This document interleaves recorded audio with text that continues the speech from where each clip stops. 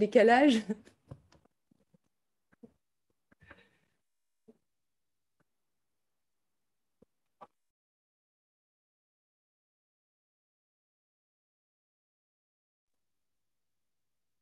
Allez, c'est parti. Allez, c'est parti.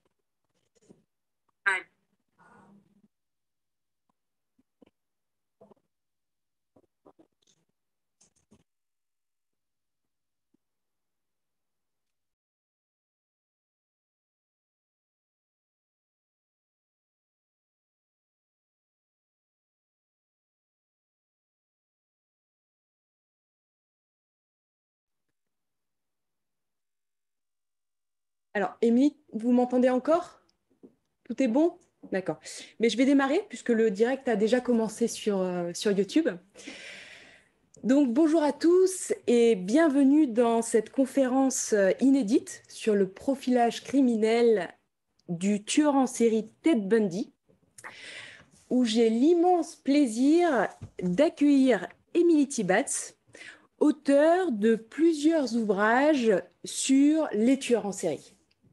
Alors, avec les étudiants en formation d'expertise criminelle et profilage, cela fait maintenant plusieurs semaines euh, que, nous analysons le profil des auteurs d'homicides multiples. Donc, nous avons distingué les tueurs de masse, les tueurs en série, les tueurs à la chaîne. Nous avons étudié également euh, les différentes typologies existantes avec euh, les tueurs organisés, désorganisés, nous avons également étudié la typologie motivationnelle qui classifie les tueurs en série euh, selon le mobile de leur crime. Et euh, durant ces quelques semaines de formation, nous avons bien compris qu'en fin de compte, les tueurs en série ne sont pas tous fous au sens euh, psychiatrique du terme. Du côté de la psychopathologie, nous avons mis en exergue le chevauchement de différents ingrédients qui ont une pondération variable selon l'auteur des crimes sériels. Ainsi, nous, avons pu, en fin de compte, euh, décortiquer certains de ces, de ces ingrédients, comme par exemple la psychopathie, qui est appelée aujourd'hui le trouble de la personnalité antisociale, les angoisses, psychotiques, la perversion narcissique de caractère, la, perversion sexuelle. Du côté de la psychanalyse, nous nous sommes appuyés sur plusieurs théories, comme celle, bien sûr, de Freud, qui est en fin de compte le père fondateur de euh, l'approche psychocriminologique. il nous lèguera euh, justement certaines thèses sur les deux topiques, sur les mécanismes de défense, sur l'inconscient du crime. Nous avons également celle de Lacan, avec euh, la forclusion euh, du nom du père et l'aliénation par l'autre. Nous avons également la fameuse théorie de Bowlby et sa théorie de l'attachement, c'est-à-dire son hypothèse de carence affective précoce. Nous avons également Winnicott, et euh, son hypothèse de déprivation, c'est-à-dire la dépossession chez l'enfant de l'objet euh, du premier attachement. Et enfin, nous avons également vu euh, la théorie de Klein et son hypothèse de la défaillance du surmoi qui serait à l'origine de tendances criminelles. Alors, aujourd'hui, tous ces apports euh, conceptuels nous aident clairement à mieux comprendre le passage à l'acte criminel. Cependant, il est intéressant de toujours ouvrir son champ d'application et euh, d'élargir son champ de vision avec l'écoute de différents intervenants travaillant sur ces questions, justement. C'est pourquoi j'ai invité Émilie Tibatz pour nous partager justement sa réflexion, son expertise sur la question de l'agir criminel sériel et plus précisément sur celui du, célèbre tueur en série Ted Bundy. Alors, entre quête identitaire, trouble de la personnalité antisociale, clivage du moi et polymorphisme infractionnel, Ted Bundy, auteur de crimes euh, en série systémique, a agi selon une motivation et un mode opératoire spécifique que nous allons justement aborder aujourd'hui grâce à l'extraordinaire travail de Emily Tibatz. Alors, avant de laisser la parole à Emily Tibatz, je rappelle quelques règles techniques parce que nous sommes en live, je vous le rappelle, directement sur la chaîne YouTube de l'Actupsy. Je rappelle aux étudiants qui sont connectés sur leur plateforme euh, e-learning que s'ils ne souhaitent pas apparaître à l'image, qu'ils éteignent simplement leur caméra. Donc ça, c'est pour des questions de droit à l'image, bien sûr. Je rappelle aux étudiants qui sont connectés présentement de bien éteindre leur micro pour euh, justement ne pas interrompre euh, Émilie qui va intervenir durant ces prochaines heures. Mais vous pourrez bien sûr réactiver le micro lors du temps d'échange à la fin de son intervention. Alors, je vous laisse donc entre les précieuses mains de notre intervenante du jour, Émilie Tibatz, qui saura vous faire voyager durant ces deux prochaines heures dans les méandres de l'agir criminel de Ted Bundy. Bonjour Émilie. Bonjour, merci Camille pour cette introduction. Est-ce que vous m'entendez bien? On vous entend très bien. Parfait, je vais pouvoir partager mon écran. Alors, hop. Évidemment, ça ne fonctionne plus, bien sûr c'est pas drôle. c'est pas drôle, non. S'il n'y a pas de problème technique, c'est pas drôle, Émilie. Voilà, comme la fois dernière. C'est ça. C'est ça. Hop, partager. Hop. Euh, je vais lancer le diaporama. Hop. Normalement, vous voyez bien mon diaporama avec écrit les tueurs en série. On le voit bien. Tout est correct. Parfait. J'enlève tous les petits trucs techniques. Voilà. Alors, je vais d'abord me présenter, moi pour commencer. Présentation rapide. Euh, je m'appelle Émilie Tibatz, j'ai 46 ans, je suis la créatrice du site tuensérie.org qui existe depuis euh, fin 2021. Je crois d'ailleurs que le, portrait de Ted Bundy était le premier que j'avais publié. Donc, ça fait à peu près une vingtaine d'années euh, que je m'intéresse au phénomène des tueurs en série. Alors, comme, euh, alors je ne sais plus, non, mais je crois que tu ne l'as pas précisé, je n'ai pas de formation en psychologie, en criminologie, quoi que ce soit. je suis, comme je dis toujours, une, raconteuse d'histoire. Par contre, j'aime que mes histoires soient bien racontées. Et tous les portraits que j'ai écrits sur le, sur le site et les livres que j'ai publiés sont basés sur des faits réels et des choses que j'ai vérifiées. Euh, j'ai pas mal lu d'ouvrages, de documents, regardé des documentaires, etc., pour, pour mieux comprendre le phénomène des tueurs en série. Et j'ai publié effectivement euh, trois ouvrages.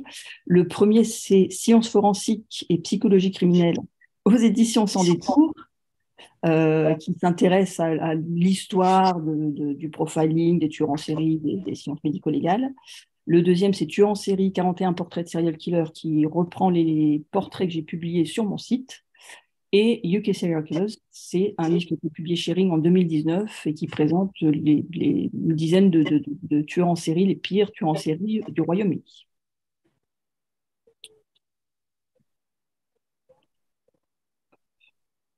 Non. Trop vite. voilà. Donc, euh, ma présentation va se diviser en trois parties. La première partie qui va être la plus, la plus large, je vais vous parler de Ted Bundy, que j'appelle un, tueur en série typique. Euh, les, les, les, Américains ont dit euh, poster boy of serial killer. Ça veut dire le, le, le, un cliché ambulant, en fait. vraiment, c'est le tueur en série dans, dans toute sa, sa j'allais dire sa splendeur, sûrement pas dans tout ce qu'il a de plus affreux.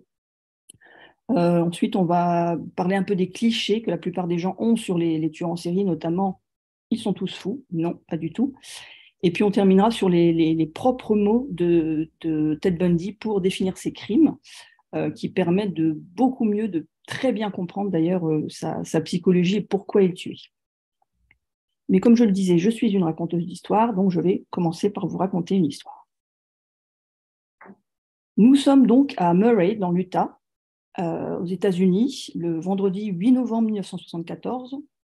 Comme vous pouvez le voir sur les images, Murray, c'est une, une, petite localité qui est située non loin. oui, je, vous coupe. En, fait, le, diaporama ne se lance pas. On est sur la première euh, ah. page, euh, les, tueurs en série. Donc, le, le diaporama n'a pas ah, dû se lancer, je pense. Et c'est pour moi. Ah, attendez, je recommence. Dommage de ne pas voir les images. Ouais, je, suis navrée de, vous interrompre. Non, non, il n'y a pas de souci. voilà, super. Là, on, voit, on voit très bien. Super. Ah bah oui, effectivement. Ah d'accord, je ne connais pas bien Zoom. Désolé. Euh, donc nous sommes à Muret dans l'Utah, qui est une petite ville à côté de Salt Lake City, euh, entourée de, montagnes. On peut y faire du ski. Enfin, c'est magnifique. Et c'est le genre de petite localité où on sent en sécurité. On est loin des grandes villes. Il n'y a pas beaucoup de criminalité. Et ce vendredi 1974, euh, nous sommes au centre commercial Fashion Place Mall en fin d'après-midi, où une jeune femme qui s'appelle Carol Daranch euh, va faire des courses. En fait, il y a plusieurs anniversaires dans sa famille et elle va au centre commercial pour acheter des petits cadeaux, tout simplement. Elle est occupée, elle est préoccupée. Euh, est-ce que tel cadeau, ça va aller? Elle fait plusieurs boutiques dans tout le centre commercial, qui est très fréquenté. Il y a beaucoup de monde et elle ne se rend pas compte qu'un homme est en train de l'observer. D'ailleurs, il l'a observée depuis qu'elle est sortie de sa voiture sur le parking. Elle est tout à fait son genre de fille, elle est grande, elle est brune, elle est mignonne, elle est mince. Il la laisse vaquer à ses occupations, et puis quand il voit qu'elle est, bien occupée, il s'approche d'elle et il engage la conversation. Il dit Bonjour, je m'appelle l'officier Roseland, madame, j'ai besoin de votre aide, vous avez bien une Chevrolet Camaro? Et Carol Darron, son, cœur s'arrête. Oui, qu'est-ce qui se passe? C'est bien euh, telle immatriculation pour votre voiture? Oui. Eh bien, il y, a un voleur qui a essayé de rentrer dans votre voiture, madame. Son cœur s'arrête. Euh, elle travaille depuis un petit moment pour se payer cette voiture. Elle en a besoin pour aller au travail. C'est son bien le plus précieux. Donc, si on lui a volé ou cassé sa voiture, pour elle, c'est terrible. Donc, elle va suivre l'officier Roseland qui lui dit bah, Venez, on va sur le parking, on va voir dans quel état est votre voiture. L'officier Roseland, c'est un jeune homme il a l'air bien sous tout rapport, il a une moustache, les cheveux un petit peu en bataille, mais bon, c'est les années 70, euh, pas, pas plus surprenant que ça. Euh, elle le suit sans trop faire attention, elle est surtout préoccupée par sa voiture, mais quand même elle se dit, il est officier de quoi? Il est policier, il est agent de sécurité du centre commercial, il a une veste qui ressemble plus à un costume, il a des, il a pas de bottines, il a des, des, chaussures vernies, bon, peut-être le, le costume qu'on a donné au, aux agents de sécurité du centre commercial. Bon, elle ne se pas, pas plus que ça. Ils arrivent sur le parking et elle se rend compte assez rapidement que sa voiture n'a rien. Elle est soulagée. L'officier Roseland fait le tour de la voiture, bon, il regarde à peine dedans, il n'a pas l'air très professionnel. C'est quand même un petit peu bizarre ce type. Et à bien y réfléchir, elle ne se souvient pas. Il a juste dit officier Roseland, il n'a pas dit s'il était policier ou agent de sécurité. Donc elle lui demande de voir sa plaque. Il ricane. Elle fronce les sourcils et il devient très sérieux. Madame, euh, c'est important. Euh, mon collègue a sans doute intercepté euh, l'individu suspect. Il prend un ton très officiel, très sérieux. Et face à ce, à ce ton, bon, elle, se dit peut-être que je ne devrais pas douter. Il parle effectivement comme un policier. Et il ajoute, je suis désolé de vous faire perdre votre temps, mais vraiment là, il faut que vous me suiviez, il faut que vous vous portiez plainte contre cet individu. Elle dit, bah, ma voiture n'a rien, il n'y a même pas une vitre cassée, rien ne manque.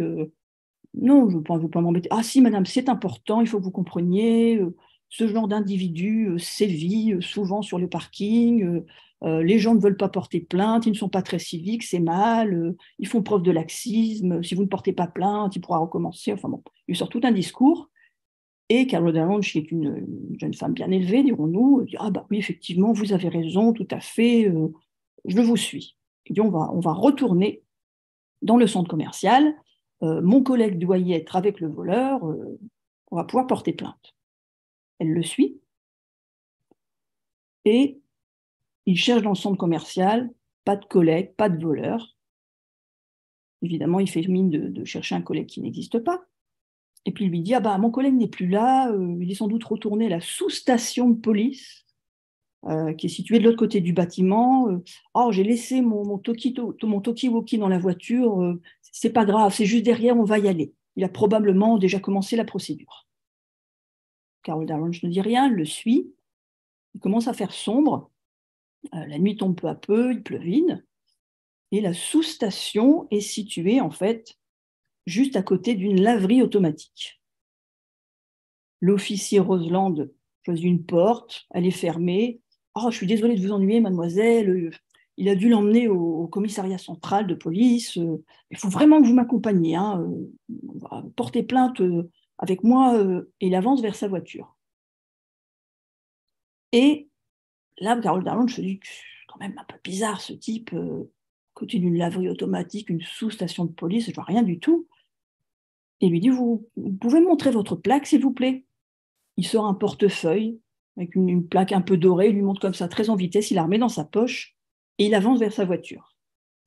Et sa voiture n'est pas une voiture de police, ni même une voiture qui fait très sérieux, c'est une vieille Volkswagen un peu miteuse, avec un peinture beige qui s'écaille par endroits, euh, laisse apparaître la rouille. Ça n'a vraiment rien euh, d'une voiture de police.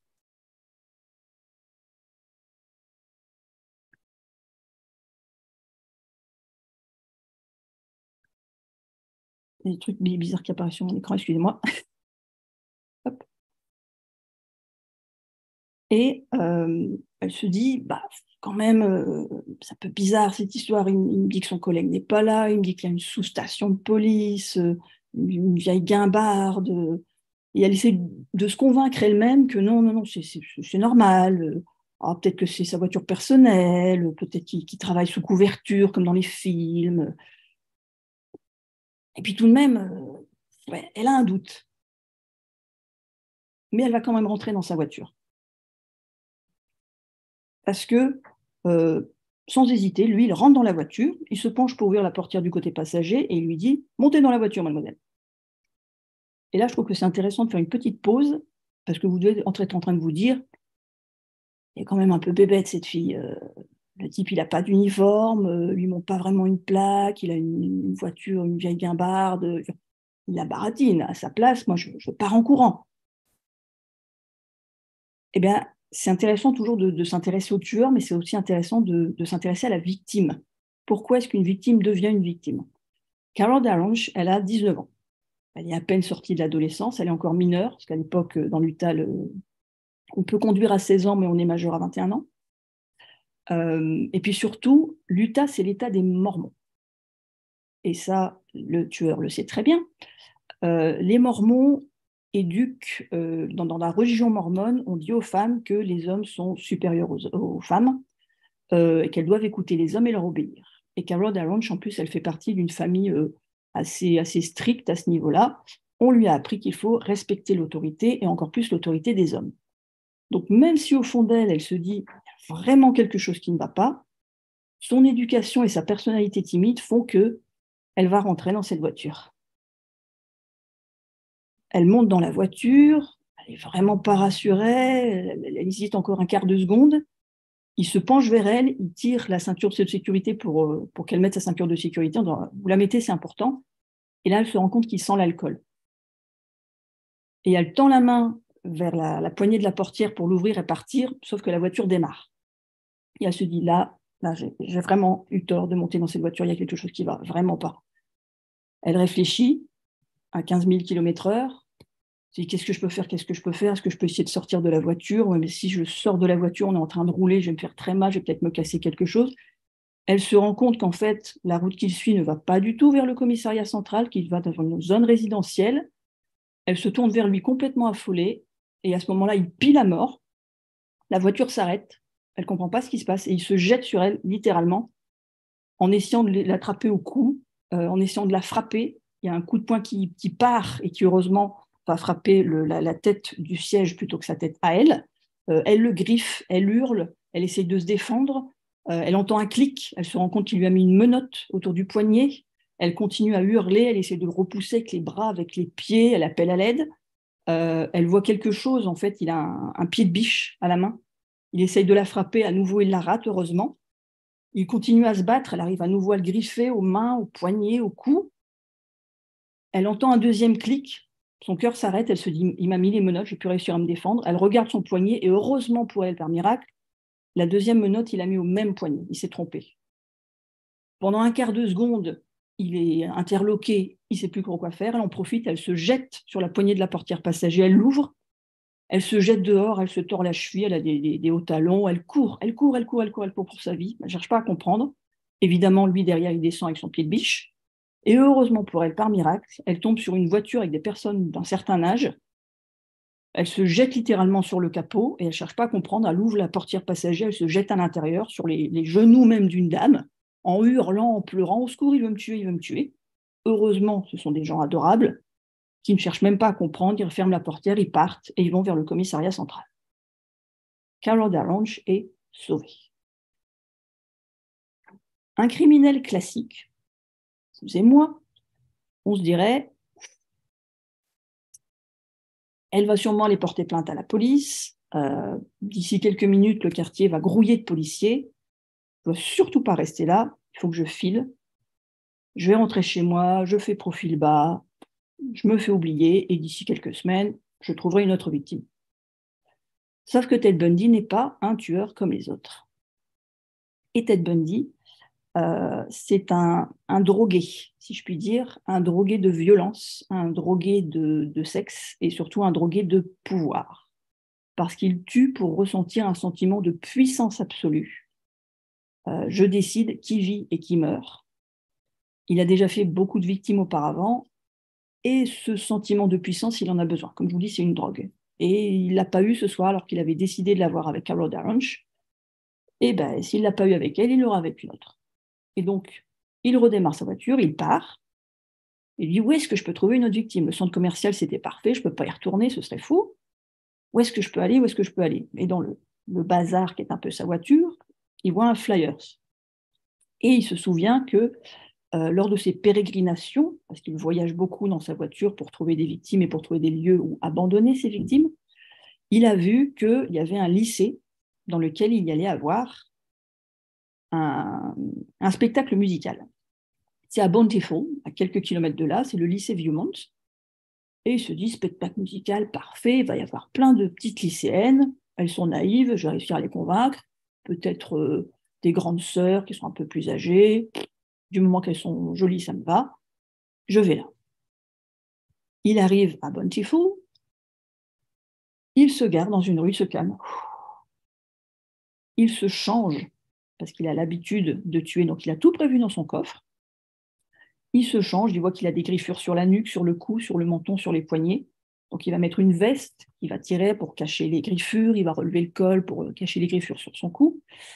Euh, et puis surtout, il va enlever le siège avant de la voiture du côté passager.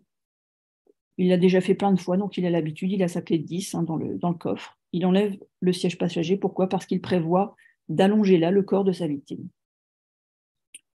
Une fois qu'il a fait tout ça, il arrive au lycée euh, Viewmont, et puis il va se, garer sur le parking du lycée, euh, un endroit où il reste de la place qui est justement peu éclairé, c'est parfait, et il rentre dans l'auditorium et ses yeux sont rivés sur toutes les jeunes femmes qui sont là, les lycéennes, les adolescentes. Euh, il est très content. Euh, il regarde surtout celles qui sont isolées, qui n'ont pas de famille, et il repère euh, une jolie brune qui s'appelle Rylin Shepard, qui est enseignante en fait. Alors là, la photo date un petit peu, mais à l'époque, elle avait des, des, cheveux longs. Il aime beaucoup les brunes à cheveux longs. Euh, elle est grande, elle est mince, elle est élégante. Parfait, c'est tout ce qu'il aime. Et euh, il s'approche d'elle. Bonjour madame, est-ce que vous voudriez bien m'accompagner sur le parking pour identifier une voiture, s'il vous plaît? Euh, Il y a un problème. Sauf que Riley Shepard n'est pas une petite adolescente ni une jeune femme de 19 ans. c'est une enseignante, elle est mariée. Elle se laisse pas faire, si je puis dire. Elle lui dit bon, écoutez, moi, c'est impossible. je, suis, en train de m'occuper du spectacle, j'ai autre chose à faire. Je suis en train de tout coordonner. C'est déjà assez compliqué. On est en retard. En plus, revenez plus tard et elle s'en va. Il reste un petit peu. Bon, ok. Il la laisse partir, et elle, elle s'occupe des lycéens, mais elle se rend bien compte qu'il l'observe. Il reste là, euh, pas loin d'elle, euh, là où elle va, il va, et elle le regarde. Il dit, mais bizarre ce type, pourquoi il me poursuit comme ça Bon. À l'entracte, elle est en train de s'occuper des lycéens, ils ont du retard, 20 minutes, 30 minutes de retard, et cet homme est à nouveau dans les coulisses. Il lui touche le bras, elle se retourne, surprise, et il lui demande à nouveau de le suivre dans le parking. Et puis elle se rend compte qu'il regarde plus ses seins que ses yeux. Donc déjà, elle se dit, mais il fait quoi ce type? Et puis brusquement, il tend presque la main pour lui caresser les cheveux, lui dit, j'adore vos cheveux. Elle dit, mais c'est quoi ce type? Et elle s'éloigne, dégoûtée, en disant, mais je ne sais pas ce que c'est que ce, type, mais euh, s'il est encore là à la fin du spectacle, j'en parle à, mon mari, j'en parle à l'agent de sécurité, c'est pas normal. Ted Bundy n'a pas euh, réussi à convaincre Riley Shepard de le, suivre, il reste quand même dans l'auditorium. Il reste debout en haut des gradins. Il lui faut une victime. Il lui faut absolument une victime. Et pour lui, c'est de la chance. Pour une jeune adolescente, ce n'est pas de chance. Il y a une adolescente qui se lève et qui sort de l'auditorium. Cette adolescente, elle s'appelle Debra Kent. Elle a 17 ans. Euh, elle va à ce spectacle avec ses parents. Son père été malade. Euh, ça va mieux, donc ils se sont changés un petit peu les idées. Ils sont venus là en famille, sauf le petit frère qui a 14 ans. Ouais, non, c'est nul, votre truc, euh, fait pour les bébés. il a été faire du roller avec ses copains. Et Debra, qui est une fille adorable, a dit non, mais vous inquiétez pas, il va faire du roller, et puis quand le spectacle sera terminé, on ira le chercher. Sauf que le spectacle, il a 20-30 minutes de retard et elle se rend compte que l'endroit, le centre de loisirs où il fait du roller, ferme à 22 heures. Euh, il va se retrouver dehors pendant 20 minutes, 30 minutes, tout seul à 14 ans, ça l'inquiète. Elle a son permis, elle a le droit de conduire. Elle dit à ses parents, vous inquiétez pas, je vais aller le chercher, on a pour 5 minutes, on revient, on regarde la fin du spectacle avec vous, puis après on rentre à la maison. Elle décide donc de laisser ses parents profiter du spectacle et elle va chercher son frère. Elle sort de l'auditorium. Elle est brune, elle a des cheveux longs, elle est jolie comme tout, elle a une belle poitrine, donc évidemment, Ted Bundy la suit. Elle, comme elle est préoccupée par ne pas arriver en retard pour aller chercher son frère, elle ne fait pas du tout attention au fait qu'il y a quelqu'un qui la suit. Elle se presse sur le parking, elle entend juste un bruit, elle se retourne, et en fait, elle voit un, un type. Elle a un mouvement de recul et elle évite un pied de biche qui va faire un énorme bruit et un gros trouve dans le toit de sa voiture. Elle hurle, mais malheureusement, le deuxième coup, elle se le prend en plein visage et elle s'effondre. Ted Bundy se rend compte que sa voiture, elle est garée une dizaine de mètres plus loin. Le diable est avec lui ce soir. Et donc, il la prend par les aisselles, il la tire jusqu'à sa voiture, il ouvre, il avait fait la place en enlevant le siège passager, il met des braquettes dans sa voiture, il la couvre avec une couverture, il ferme la porte. Et au lieu de partir tout de suite, il décide de revenir dans l'auditorium pour se créer un alibi. Il se glisse dans le premier siège qu'il trouve, mais ce dont il ne s'est pas rendu compte, c'est que bah, sa chemise est sortie de son pantalon, il lui manque un bouton, il respire très fort parce qu'il a fait un effort, il a porté des braquettes, il a couru pour revenir au plus vite à l'auditorium. Donc les gens qui sont devant lui se retournent, oh, il respire fort ce type. Il respire tellement fort que Raylene Shepard elle-même se retourne et puis elle donne un coup de coude au type qui est assis à côté de lui, c'est son mari. Ouais, c'est lui le gars bizarre là dont je te parlais. Ted Bundy se sent regardé, il voit bien qu'on l'observe, il se dit j'aurais pas dû revenir dans l'auditorium, et il décide de filer. Il ressort de l'auditorium, il monte dans sa voiture, et il fonce en trombe. Il va ramener Debra Kent dans son appartement. Euh, il va lui faire subir des choses affreuses. Et euh, le corps de Debra Kent, en fait, ne sera jamais retrouvé. Il admettra bien des années plus tard qu'il l'a abandonné dans un endroit euh, désert il y a beaucoup de, parcs naturels et d'endroits déserts dans l'Utah, euh, à plusieurs centaines de kilomètres de Salt Lake City.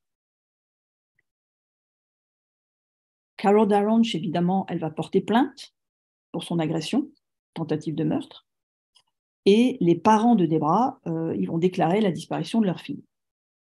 Et cette disparition va être tout de suite prise au sérieux parce que plusieurs jeunes femmes ont déjà disparu au sourd de Salt Lake City dans les semaines précédentes. Et les policiers vont ratisser le lycée, l'auditorium, le parking, absolument tout.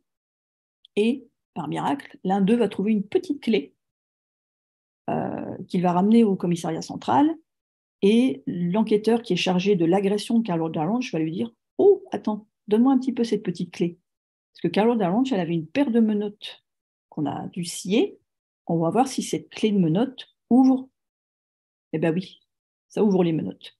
Et donc cet inspecteur comprend que l'homme qui a agressé Carlo Darlange est sans doute le même qui a enlevé Debra Kent.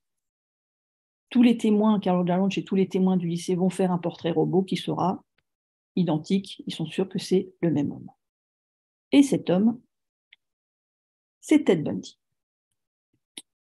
Ted Bundy, qui euh, est un jeune homme au-dessus de tout soupçon, comme on dirait l'homme idéal même. Euh, l'homme idéal parce que euh, est euh, diplômé en psychologie, il a une licence en psychologie qu'il a obtenue avec les, félicitations de ses professeurs. il est proche des républicains, il a participé à deux reprises à la campagne électorale pour le, gouverneur de l'État de Washington, juste à côté de l'Utah.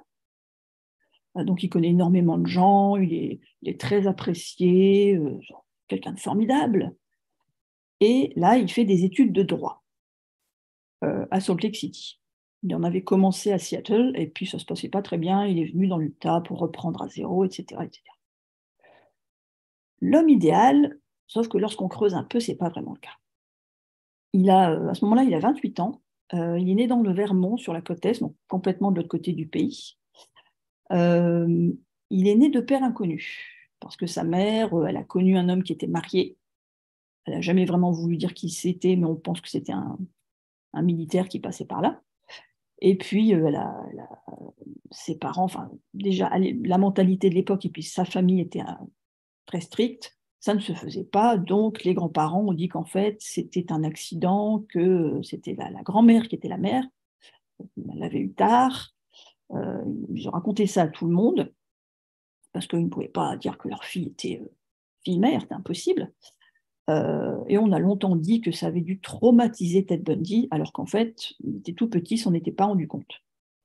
Euh, quand Ted Bundy a eu 4 ans, euh, Eleanor, sa mère, est venue vivre à Seattle parce que, déjà parce qu'elle avait envie de changer de vie, et parce que son père était un homme qui n'était absolument pas sympathique. On pense qu'il était schizophrène, mais c'est surtout quelqu'un de très violent. Donc elle voulait le fuir et puis elle voulait recommencer sa vie. Elle avait un oncle à Seattle, l'oncle Jack, qui était professeur, euh, très gentil, et qui lui a dit Mais viens, euh, en plus il y a plein d'universités à Seattle, ils cherchent des secrétaires, tu vas trouver du travail. Et effectivement, Eleanor s'est installée à Seattle avec Ted, Théodore.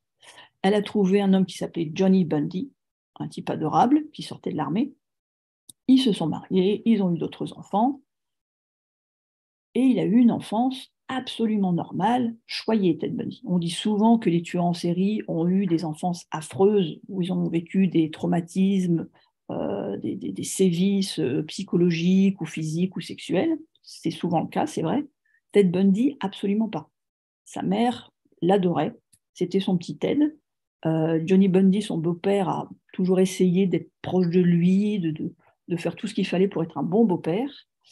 je vous spoil un peu, Ted Bundy a fini par être arrêté, il a été condamné à mort.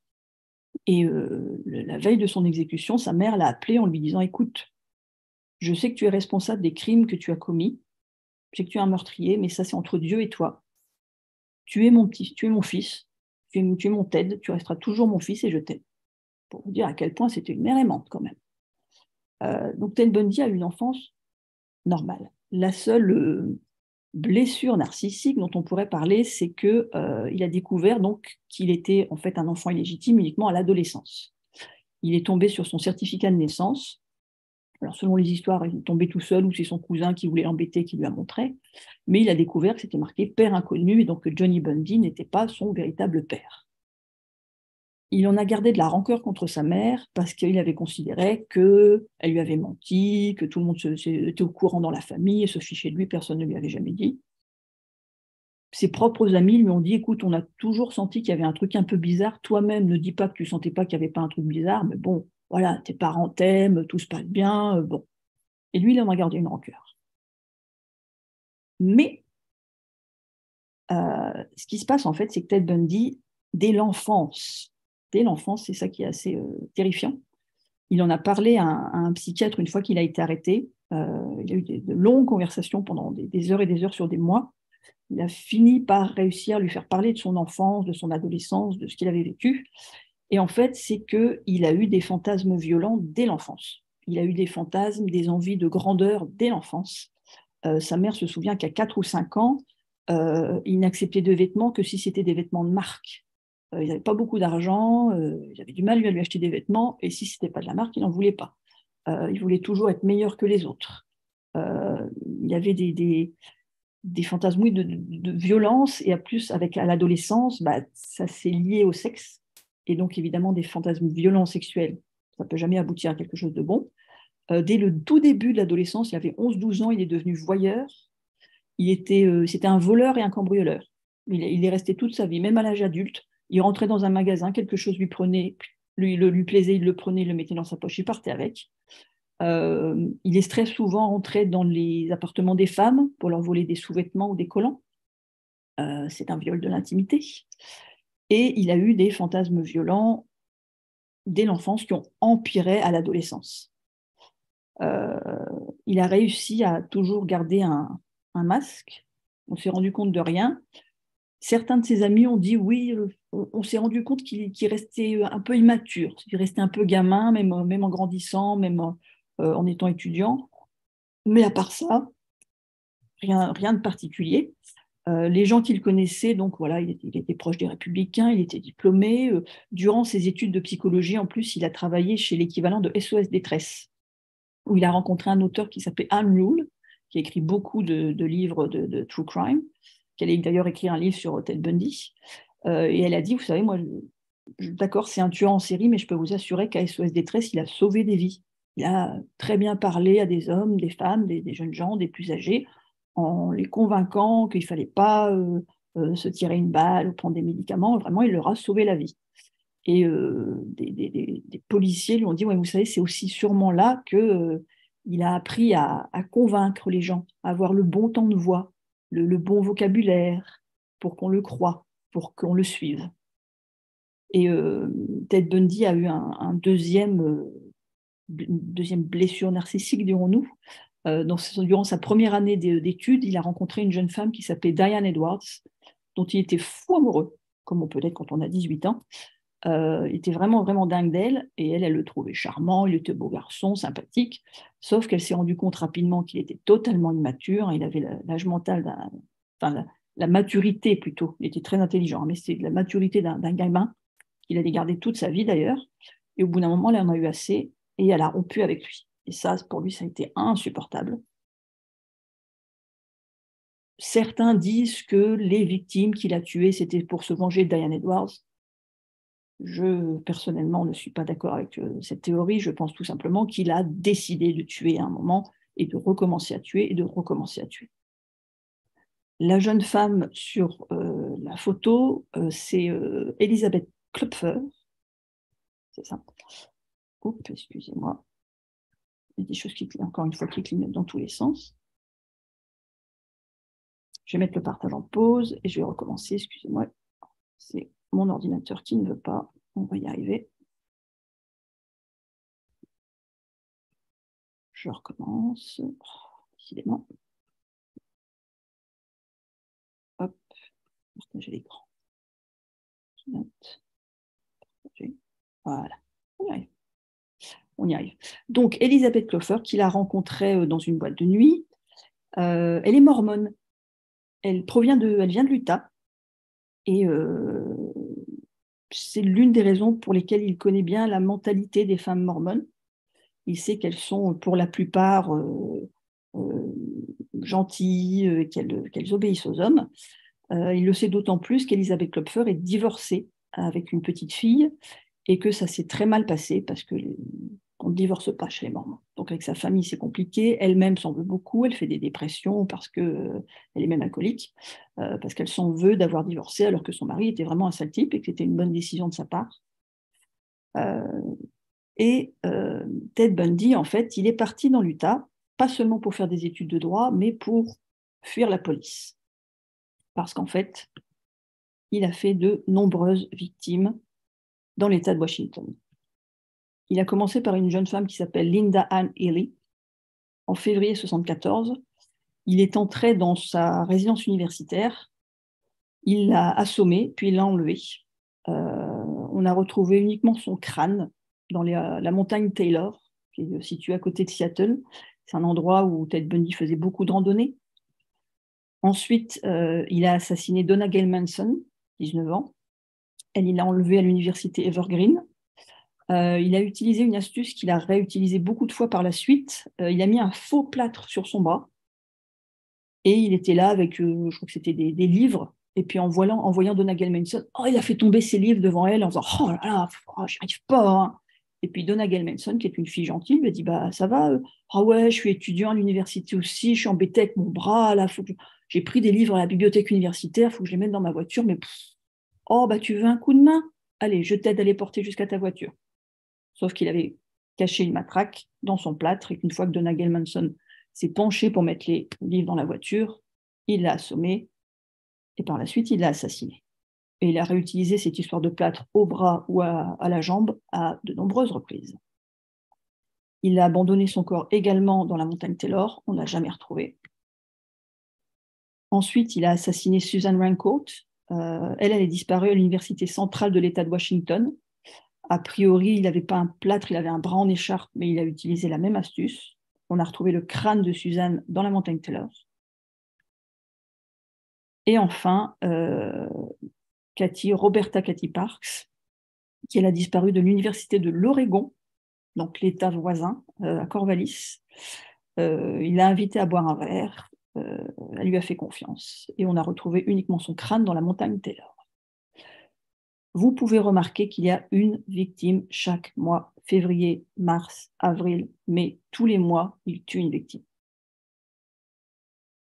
Le mois suivant, c'est Brenda Ball, elle a 22 ans, en juin 74. Elle, elle sort d'un bar, le Flame Tavern à Seattle. Il est tard et il lui propose gentiment euh, de la raccompagner chez elle on retrouvera uniquement son crâne dans la montagne Taylor. Le mois suivant, enfin non, le même mois, pardon, le même mois, Georgiana Hawkins, elle est enlevée euh, dans la résidence de l'université de Washington. On retrouvera son squelette près d'Issaquah, qui est aussi un endroit dans lequel Ted Bundy euh, faisait de la randonnée. Il abandonnait ses victimes dans des endroits qu'il connaissait et qu'il savait être isolés, où on ne risquait pas de les retrouver. Et puis, finalement, arrive le 14 juillet 1974 où il fait deux victimes. Euh, euh, Janice Ott et Denise Naslund, euh, une blonde et une brune.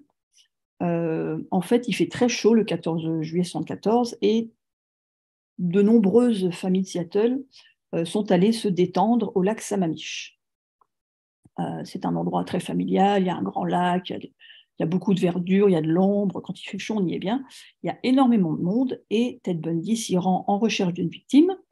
Une seule ne va pas lui suffire, il va avoir deux jeunes femmes le même jour en utilisant toujours cette astuce du Ah, j'ai mal au bras, aidez-moi, ma voiture est garée, oulala, tout au fond du parking.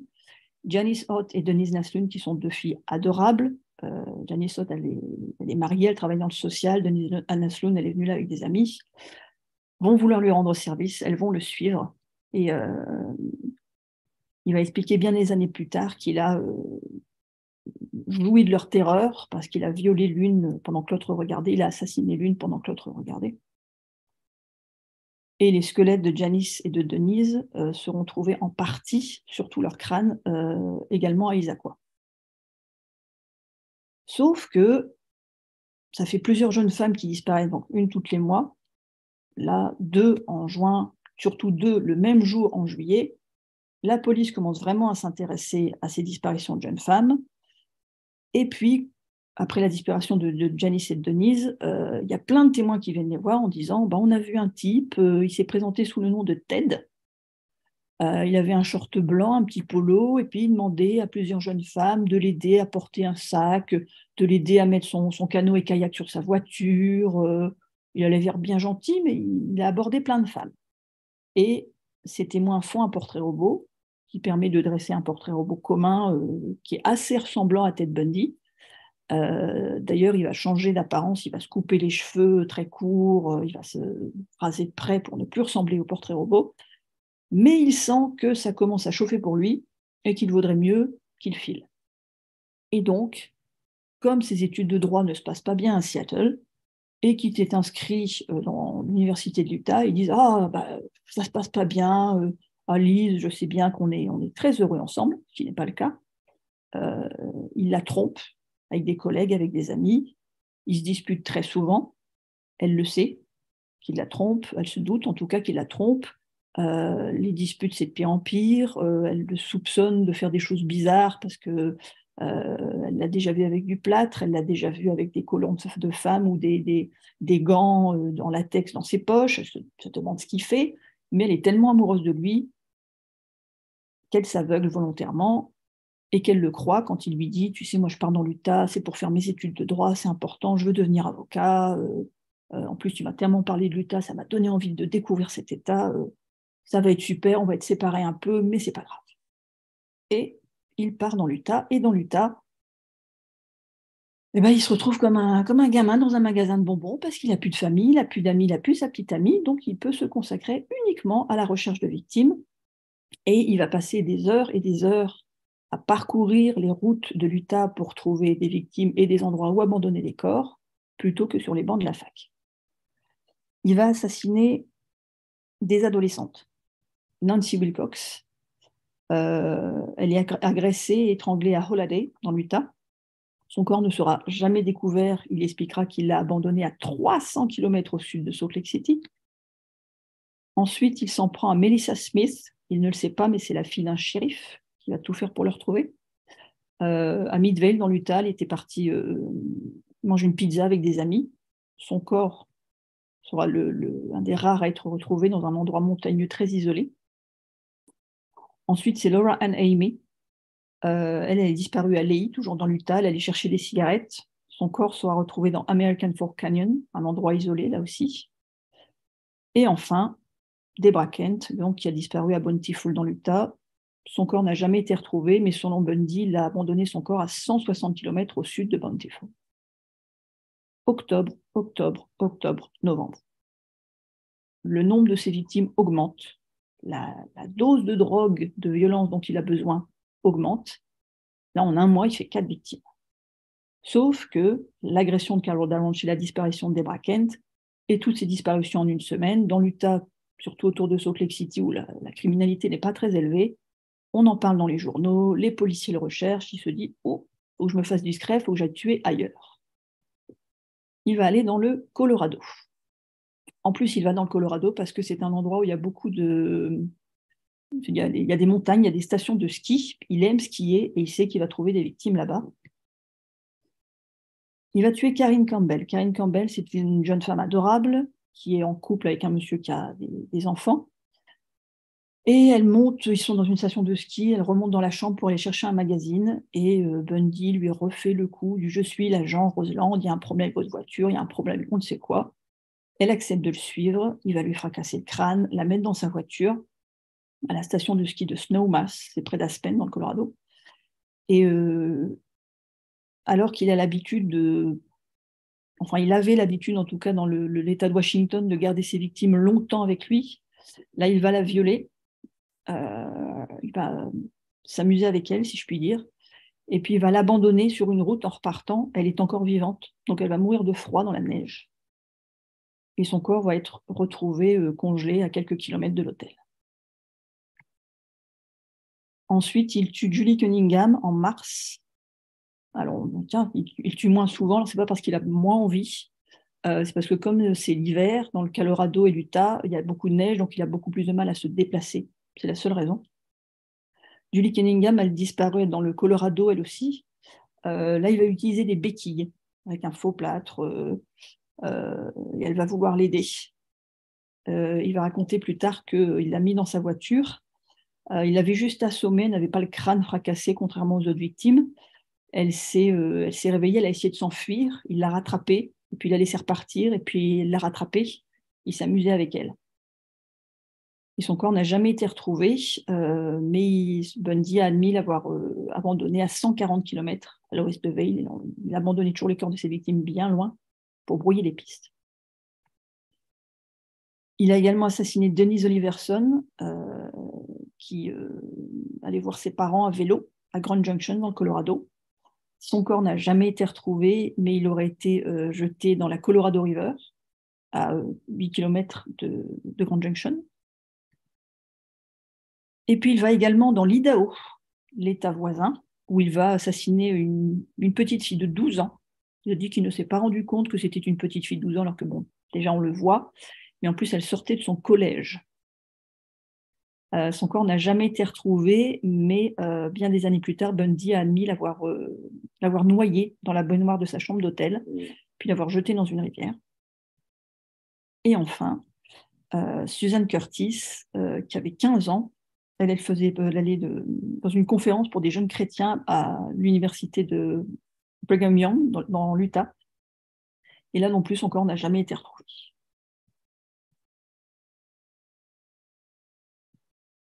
Ted Bundy a tué dans quatre États différents et il l'a fait volontairement. En fait, euh, pendant ses études euh, de droit, il a eu un petit boulot, si je puis dire. Il a travaillé pour le département judiciaire du comté de King et il travaillait sur la récidive. Et en lisant tous les, euh, les documents, les rapports de police, les documents de justice, il s'est rendu compte que les forces de police ne communiquent pas. Elles ne coopèrent pas euh, entre États, entre comtés, entre villes. Euh, des shérifs de, régions ne vont pas communiquer avec des, des policiers d'une ville. et donc il se dit, plus je disperse les corps, plus je vais chercher des victimes ailleurs, moins elles communiqueront et donc plus elles auront des difficultés à me trouver. Et donc, il ne s'inquiète pas. Sauf que il va être arrêté quand même euh, le 16 août 1975 pour une broutille. Euh, en fait, c'est la nuit, il est dans la banlieue de Salt City et euh, il est là dans sa vieille voiture, sa vieille coccinelle. Il fait rien de particulier, mais il est dans le noir et alors sans doute qu'il il allait cambrioler une maison, en tout cas il regarde ce qu'il est possible de faire dans cette petite banlieue. Et un policier passe par là, et comme c'est une petite ville, le policier connaît tout le monde, et notamment toutes les voitures, et il sait que personne n'a une vieille coccinelle rouillée dans le coin. Donc il s'arrête, il fait demi-tour, il se garde derrière la coccinelle, il fait des appels de phare, et la voiture part en trombe. Donc évidemment, le policier le poursuit, et Ted Bundy, bah, il est arrêté euh, quelques minutes plus tard, le policier lui demande pourquoi il est parti en trombe et lui dit Ah, mais j'étais en train de fumer un pétard, euh, excusez-moi, je suis étudiant en droit, euh, s'il vous plaît, mettez pas ça sur mon casier judiciaire, ça le fait pas, je suis jeune, j'ai fait une bêtise, je suis désolé. Le policier le croit à moitié, il sait qu'il y a des cambriolages dans le quartier. Il dit Hum, es peut-être bien un cambrioleur, toi. Il lui met les menottes, il lui dit Veuillez, s'il vous plaît, monsieur, euh, ouvrir votre coffre. Et voilà ce qu'il trouve dans le coffre de Ted Bundy il prend ça pour un kit de cambriolage. Se dit, ouais, le, pied de biche, c'est pour ouvrir les portes, euh, le, la cagoule, c'est pour cacher son visage. Ah, c'est bon, j'ai trouvé mon cambrioleur. Et il va prendre en photo ce kit qui est normalement dans le, dans le sac. Il va tout vider le sac, il va tout mettre dedans. Il y a une paire de menottes, il y a des cordes, il y a, des, il y a tout pour faire des liens en fait. Il y a un pic à glace, il y a des gants, il y a des sacs poubelles. Les sacs poubelles, en fait, Ted Bundy s'en servait pour y mettre les vêtements, les, bijoux, les affaires de ses victimes et pour les jeter eux aussi dans un autre endroit pour à nouveau brouiller les pistes. Et donc, le policier pense que c'est seulement un cambrioleur, il lui prend son, kit, son sac avec toutes ces affaires là-dedans, mais par contre, il le laisse partir en disant bah, Vous allez être convoqué, puis vous risquez quand même gros, je suis sûr que vous êtes un cambrioleur. Bundy ne s'inquiète pas trop parce qu'il dit Il n'y a pas de preuve que je suis un cambrioleur, j'ai juste dit que j'avais fumé un pétard aucun problème. Sauf que tous ces crimes, certes, les policiers ne se parlent pas entre eux, mais les policiers de Salt Lake City et d'autour Salt Lake City se parlent. Ils ont décidé de faire une réunion hebdomadaire pour essayer de trouver ce tueur et pour se tenir au courant de tous les crimes qui existent. Et notre policier qui a arrêté Ted Bundy dit Oh, ben moi, la semaine dernière, j'ai arrêté un type, je pense que c'est mon cambrioleur. Euh, il avait un kit avec euh, tout un tas de trucs, là, un sac avec euh, un pied de biche et des menottes. L'enquêteur qui travaille sur l'agression de Carlo D'Arrange dit Pardon, il avait des menottes et un pied de biche, je vais voir un petit peu. Et en voyant ce kit, il lui dit Ah non, mais ça, c'est pas juste un cambrioleur que tu as, le type, il s'appelle comment? Et donc, il commence à chercher Ted Bundy, etc., etc. À quoi il ressemble? Ah bah, il était comme ça, comme ça, comme ça. Bah écoute, euh, excepté qu'il n'a pas de moustache, euh, ressemble exactement à ce que nous a dit Carlo D'Alonche et, tous les, témoins euh, des disparitions de Debra Kent. Et donc, ils vont euh, décider de perquisitionner chez Bundy, qui va rester très calme, qui va nier évidemment, moi, un agresseur de femme, jamais de la vie. Et puis, l'enquêteur le, qui enquête sur le, la, disparition de Debra Kent, il a entendu parler du fait qu'il y avait aussi des jeunes femmes qui avaient disparu dans le Colorado et dans l'Idaho. Il dit, vous êtes déjà allé dans le Colorado? Ah non, jamais. Sauf qu'il perquisitionne donc et qu'il saisisse euh, des flyers des flyers du l'hôtel où a disparu Karine Campbell et d'autres choses euh, avec les empreintes de Ted Bundy. Il ne pourra pas nier que c'est pas lui qui n'était pas au courant qu'il a jamais été dans le Colorado. Et l'enquêteur se dit non, non, ce type, je le sens dans mes tripes, c'est lui. C'est au moins lui qui a agressé Carol Darlange, ça j'en suis sûr. Il dit, bah, jeune homme, vous allez venir dans quelques jours, on va vous convoquer, vous allez faire un tapissage. Et euh, Carol Darlange et les témoins euh, on va voir s'ils vous reconnaissent. Ted Bundy arrive lors du tapissage euh, rasé de près, pas du tout la même tête que l'officier Roseland, hein, qui avait une grosse moustache et des cheveux en bataille. Il est les cheveux très courts, rasés de près, vêtu complètement autrement, parce que ça ne suffit pas. Carlo je le voit, elle dit tout de suite, c'est lui. Euh, Raylene Shepard dit tout de suite, c'est lui. Il est reconnu. Il va être jugé. Et Carlo Darlange, qui est une jeune femme euh, timide, eh ben, il va se faire avoir Ted Bundy parce que oui, elle est mormone. Et donc, comme elle est mormone, la loi pour elle, c'est important. Elle a peur, mais elle va quand même venir témoigner. Elle va très bien témoigner, elle va pas se laisser faire. Elle va dire, je le reconnais, le gars qui s'est jeté sur moi, qui m'a agressé, qui a essayé de me tuer, c'est lui. Et Ted Bundy va être reconnu coupable. Il va être condamné à une peine un peu, bon, c'est une peine américaine, hein, c'est un peu bizarre, entre 1 et 15 ans de prison. Euh, c'est-à-dire que s'il se comporte très bien, il fait un an, et s'il se comporte mal, il fait 15 ans, grosso modo. Et il va apprendre euh, peu longtemps après qu'il est transféré dans le Colorado pour être jugé pour le meurtre de Karine Campbell, parce qu'on a des preuves contre lui, euh, il y a des témoins qui l'ont aperçu, et puis surtout son pied de biche. Eh ben, la forme du pied de biche est exactement la forme que l'on a retrouvée dans le crâne de Karine Campbell. Euh, donc en avril 77, il est transféré dans le Colorado pour attendre son procès. Euh, il décide de se défendre lui-même parce qu'il pense que comme il fait des études de droit, il peut tout à fait... Euh, c'est un narcissique, donc il pense qu'il peut se défendre tout seul. Il s'évade une première fois en juin. Il saute tout simplement de l'étage de la bibliothèque. Il est repris. Il se rend compte qu'il a mal préparé son coup. Donc il va bien préparer sa prochaine évasion. Et le 30 décembre 1977, il s'évade à nouveau. Un film euh, il profite des fêtes de fin d'année, en fait. Le 30 décembre, les gardiens sont plus occupés un petit peu à faire la fête, il y a moins de monde. Euh, il a convaincu un ami qu'il avait été condamné à tort, ce que croit d'ailleurs euh, sa famille, ses amis proches. Non, c'est impossible, c'est une erreur judiciaire, elle s'est trompée, cette fille, ça ne peut pas être lui. Et donc cet ami lui a préparé une voiture, des vêtements, un petit peu d'argent.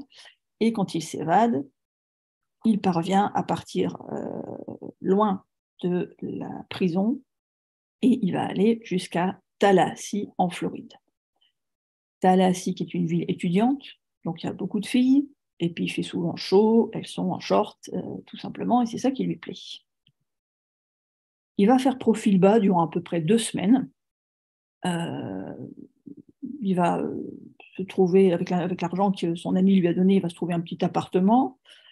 pour le meubler, il va voler, cambrioler, comme il en a l'habitude, il va voler absolument tout. Euh, il va rester tranquille durant à peu près deux semaines, et puis au bout de deux semaines, c'est pas possible. parce que ça fait beaucoup trop longtemps qu'il n'a pas agressé de femme, vu qu'il était emprisonné. Euh, il faut absolument, faut il faut absolument qu'il puisse euh, massacrer une femme. Sauf que là, il est vraiment en état de manque, et c'est plus le Ted Bundy euh, tranquille et sûr de lui qui était dans l'État de Washington. Il va dans une boîte de nuit le 14 janvier 78, et toutes les jeunes femmes qu'il aborde témoigneront plus tard qu'il avait l'air très, très bizarre. C'est-à-dire qu'il fait peur à toutes ces jeunes femmes. Euh, il pense être capable de séduire, de draguer comme il a toujours fait. Et en fait, il est tellement étrange euh, que le fuit systématiquement. Et donc, quand la boîte de nuit ferme, bah, il se retrouve le bec dans l'eau, il n'a pas pu attirer une jeune femme euh, dans un coin pour pouvoir l'étrangler. Et donc, il se dit, qu'est-ce que je vais faire? C'est une ville étudiante, je vais bien trouver des étudiantes et il arrive devant la euh, sororité Chi Omega, c'est-à-dire une résidence universitaire réservée aux filles. Euh, alors la photo a été prise bien après, ça n'avait pas cette tête-là, mais bon, ça, ressemble quand même. Euh, il, y a, il y a des bûches. Dans un coin, il saisit une bûche, il observe et il se rend compte que la porte d'entrée ne ferme pas très bien. Et donc, une fois que la dernière fille est rentrée, il attend un petit peu et puis il se glisse à l'intérieur. Et là, ça va être un carnage. une jeune femme qui s'appelle Nita Neary, une étudiante. Euh, elle va rentrer quelques temps après, euh, elle va passer la soirée avec son, copain.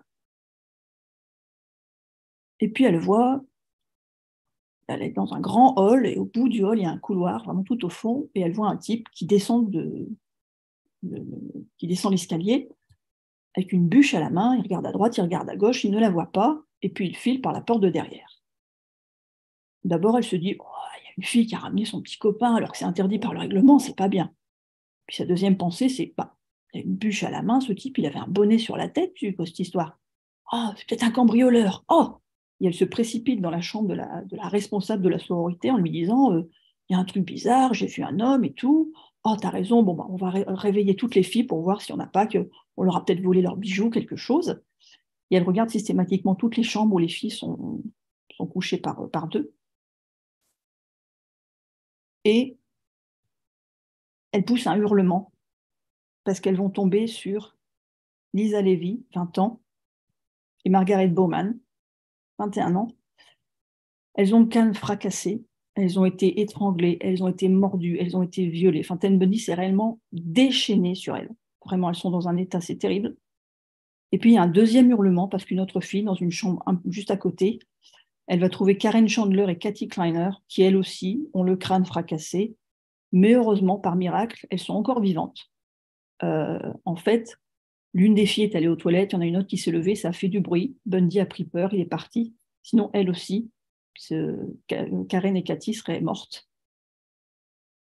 Et comme il n'a pas pu aller jusqu'au bout, eh ben, il est allé quelques pâtés de maison plus loin et il est rentré dans un appartement qui était ouvert, celui de Cheryl Thomas. C'est une danseuse de 21 ans. Et elle aussi, il lui a fracassé le crâne avec euh, sa bûche. Il a commencé à la violer. Et heureusement pour Cheryl Thomas, les, murs de sa résidence sont fins, donc sa voisine a entendu qu'il se passait quelque chose. Elle l'a appelé, elle s'est mise à crier, elle a dit Bon, j'appelle la police. Elle a appelé la police, ce qui a fait fuir Ted Bundy.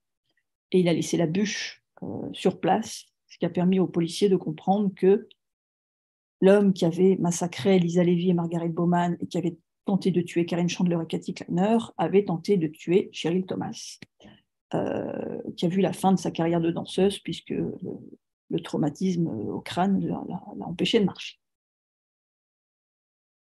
Et comme si ça n'était pas assez, euh, Ted Bundy a fait une troisième victime en Floride euh, il est allé plus loin parce que, évidemment, le massacre, qu'il a commis à la sororité Kiyomega, les journaux en ont parlé, les policiers étaient partout, ils faisaient des rondes le soir, les étudiantes se méfiaient. Évidemment, celles qui ont été en boîte de nuit ont dit bah, juste à côté de la sororité Kiyomega, toute la soirée, on a vu un type bizarre qui ressemblait à ça, donc il y a eu des portraits robots qui ont été publiés. Donc il a fui un petit peu Tallahassee, il est allé plus loin, il est allé à Lake City, où il a euh, enlevé, pourrait-on dire, en tout cas poussé de force Kimberly Leach euh, dans, un van blanc qu'il avait volé. Et la petite Kimberly n'avait que 12 ans. Il l'a enlevée devant son collège. Et euh, alors, je vais vous passer les détails de ce qu'il lui a fait subir, mais il l'a euh, égorgée. Et des années plus tard, il a dit que ça avait été l'un des plus beaux jours de sa vie. Le corps de Kimberly a été retrouvé euh, à 70 km de Lake City des mois plus tard. Et Ted Bundy va être arrêté à nouveau exactement de la même manière que dans l'Utah. Ce genre de criminel n'apprend jamais de ses erreurs parce que, bah non, je suis génial, je ne fais jamais d'erreur. Euh, le 15 février 78, il est à Pensacola, donc au nord de la Floride, qui s'éloigne de Tallahassee, hein, il essaie de, s'échapper. Euh, il a volé une coccinelle, les voitures qu'il adore, une coccinelle orange, très discrète. Euh, il est le soir, c'est le soir, il est dans un endroit qu'il ne connaît pas, un petit, un petit coin tranquille. Euh, et puis le policier passe et se dit Tiens, je ne connais pas de coccinelle orange. Qui est cet homme? Pareil, appel de phare. Ted Bunny part avec la coccinelle et il est arrêté. Sauf qu'il est dans un état euh, de dépression, de fatigue, de manque d'altol, de, de, Voilà. Il sait qu'il est arrivé au bout et pour la seule et unique fois, il va admettre à demi-mot que effectivement il a fait des choses affreuses, que effectivement peut-être il s'en est pris à des femmes. Et euh, il va être presque honnête, presque honnête pour la première et la dernière fois. Euh, Don Patchen, qui est un, policier qui l'interroge à ce moment-là, euh, lui dit mais vous, avez tué des femmes et il dit voilà, il y a quelque chose qui ne va pas chez moi, je suis le salopard le plus froid sur lequel vous ayez jamais posé les yeux, j'en ai vraiment rien à foutre de ces gens. C'est vulgaire, mais ça résume très bien sa façon de penser. J'en ai rien à foutre de ces gens. Euh, Ted Bundy va être condamné à mort pour les trois meurtres qu'il aura commis en Floride. Ted Bundy n'était pas l'homme idéal, c'était un homme monstrueux, c'était un violeur, c'était un nécrophile. Ceux qui ne savent pas, ça veut dire qu'il avait des rapports sexuels avec les cadavres de ses victimes. Euh, et c'était un tueur d'enfants il était menteur, manipulateur. Il a fait au moins 20 victimes. Euh, le, véritable chiffre est plutôt proche de 30, peut-être même 40. Euh, et euh, il n'a admis ses crimes que quelques jours avant son exécution en janvier 89, et seulement pour négocier sa vie. C'est-à-dire qu'il a dit bah, les, policiers responsables de toutes les, toutes les enquêtes peuvent venir me voir, je vais admettre, je vais donner des détails, mais en échange, bah, je veux qu'ils aillent voir le procureur en disant qu'il ne faut pas que je sois exécuté. Et en fait, pendant toutes ces années, il a refusé d'admettre et de dire où étaient ses victimes, parce qu'en fait, euh, c'était quelqu'un qui était avide de pouvoir, de puissance, et euh, en prison, il ne pouvait plus tuer, il ne pouvait plus avoir ce sentiment de puissance, mais ses victimes continuaient de lui appartenir tant qu'il n'avouait pas euh, tant qu'il ne disait pas où étaient les corps, il avait un pouvoir sur les familles, sur les policiers, sur la justice, aussi longtemps qu'il ne donnait pas d'informations. Et il s'en est délecté durant des années. Donc nécrophilie, euh, décapitation, viol, tueur d'enfants, faire des trucs pareils, il faut être complètement fou. Ted Bundy était-il fou? Les tueurs en série sont-ils fous? Euh, Non, Ted Bundy était un psychopathe. C'est pas moi qui le dis c'est euh, Hervé Clecley euh, qui, a, posé ce diagnostic en fait durant le procès de Ted Bundy en Floride. C'est un psychiatre américain euh, qui était responsable du service de psychiatrie de l'hôpital universitaire de Géorgie et un pionnier de l'étude de la psychopathie, qui a écrit un livre qui s'appelle The Mask of Sanity, le, masque de sanité, de sanité mentale, le manque de normalité, pour pourrait traduire ça. Euh, et qui a dit que la psychopathie est un trouble de la personnalité caractérisé par un comportement antisocial, un manque de remords et un manque de comportement humain. Comportement humain, donc d'empathie. Et quand on voit les critères euh, qu'il avait choisis pour euh, définir la psychopathie, on se rend compte que Ted Bundy coche absolument toutes les cases. C'était un narcissique. par nature, il n'a jamais accepté la, responsabilité de ses actes. Il n'a jamais admis aucun crime, aucun tort, euh, il n'a jamais euh, agi avoir mal agi, euh, admis avoir mal agi tout simplement parce que pour lui, ces meurtres n'étaient pas quelque chose de mal. ça lui donnait du plaisir. Il était heureux de tuer, donc il faisait rien de mal en tuant. et comme tous les narcissiques, il croyait être spécial, être unique au monde. Il adorait se sentir puissant. Et donc, il cherchait constamment à être en contrôle et à dominer. La psychopathie a été euh, étudiée en détail par Robert Hare, qui est un, psy canadien, euh, qui a fini par comprendre que beaucoup de tueurs en, série sont des psychopathes, pas tous. Euh, beaucoup de criminels, en général, sont des psychopathes ou ont des tendances psychopathes, mais pas tous. et pour autant, tous les psychopathes ne sont pas des tueurs en série, ni même des criminels. Euh, et le, livre de Clé-Clé, Le masque de normalité, a beaucoup influencé les travaux de, Robert Hare, euh, qui en fait a, travaillé d'abord dans un pénitencier et puis qui euh, s'est rendu compte que il, comment dire, il retrouvait certains traits de personnalité des psychopathes chez des personnes qui n'étaient pas en prison. Et donc, il a commencé à élargir le champ de recherche de ses recherches vers euh, sa famille, vers le monde de l'entreprise, vers la politique, etc. Et il s'est rendu compte, en reprenant la définition vraiment à la ligne hein, du psychopathe, qu'on retrouve un pourcentage euh, élevé de psychopathes chez les politiciens, chez les grands chefs d'entreprise et chez les sportifs de haut niveau. Euh, alors même sans déclencher de guerres qui font des milliers de morts, il y a des hommes politiques qui sont c'est connu, euh, prêt un peu à, écraser tout le monde pour arriver au plus haut niveau de pouvoir.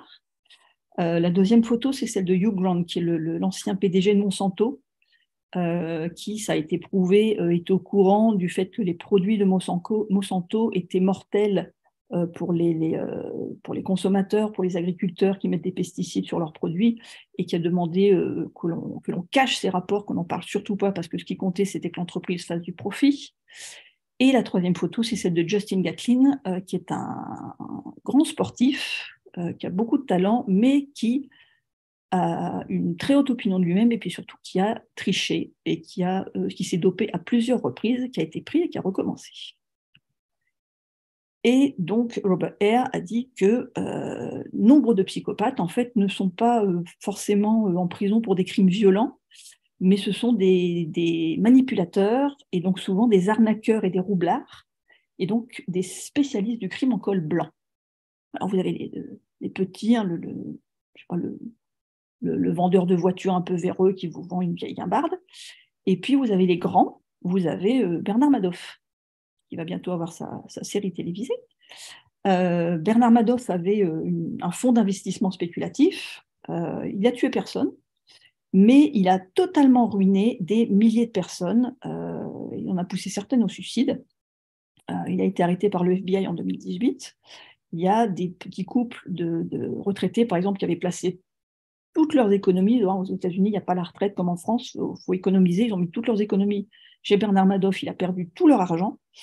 Euh, il a reçu, enfin, le, le, FBI a reçu plus de 8800 plaintes. Euh, il y a certaines de ces victimes qui ont fait des dépressions. Il y a un homme qui s'est suicidé, son propre frère s'est suicidé. Et quand des journalistes sont allés l'interroger en lui disant quand même, vous vous rendez compte de ce que vous avez fait, votre propre frère s'est suicidé, il y a des gens qui sont ruinés, leur vie est fichue, il leur a répondu dans le blanc des yeux en pensant très bien ce qu'il disait. Oui, mais vous vous rendez compte, moi je suis en prison, moi. Avant, je vivais dans des hôtels 5 étoiles et là, je suis dans une vieille prison pourrie, je souffre. Et deuxième exemple de psychopathe, encore pire, Brian Blackwell, euh, bonne petite tête, on lui donnerait le bon Dieu sans confession. C'est un gentil jeune homme, un brillant, intelligent, sauf qu'à 18 ans, il a euh, massacré ses parents à coups de marteau. Il les a poignardés. Et puis ensuite, il est parti en vacances avec sa petite amie. Euh, ce jeune homme, c'était, c'est vraiment le cas de le dire, créé un masque de normalité euh, jeune homme charmant, le bon fils, euh, qui s'entendait bien avec son parent, ses parents. Euh, et sa véritable personnalité, en fait, c'était quelqu'un de totalement immature, d'égocentrique, qui se croyait très important, qui avait des, des rêves, des fantasmes de réussite, de succès. il avait affirmé donc à sa petite amie qu'il était un joueur de tennis professionnel qui voyageait dans le monde entier et euh, il lui avait promis de l'argent, des cadeaux, et ils allaient voyager. et en fait, il a pris la carte bleue de ses parents et il s'est payé des vacances avec sa petite amie. Donc évidemment, quand il est revenu, son père ne l'a pas accueilli à bras ouverts. Il lui a dit non, mais ça va pas bien la tête. Tu prends ta carte, prends ma carte bleue, tu dépenses 10 000 euros pour des 10 000 livres pour des vacances avec ta petite amie, mais tu es complètement fou.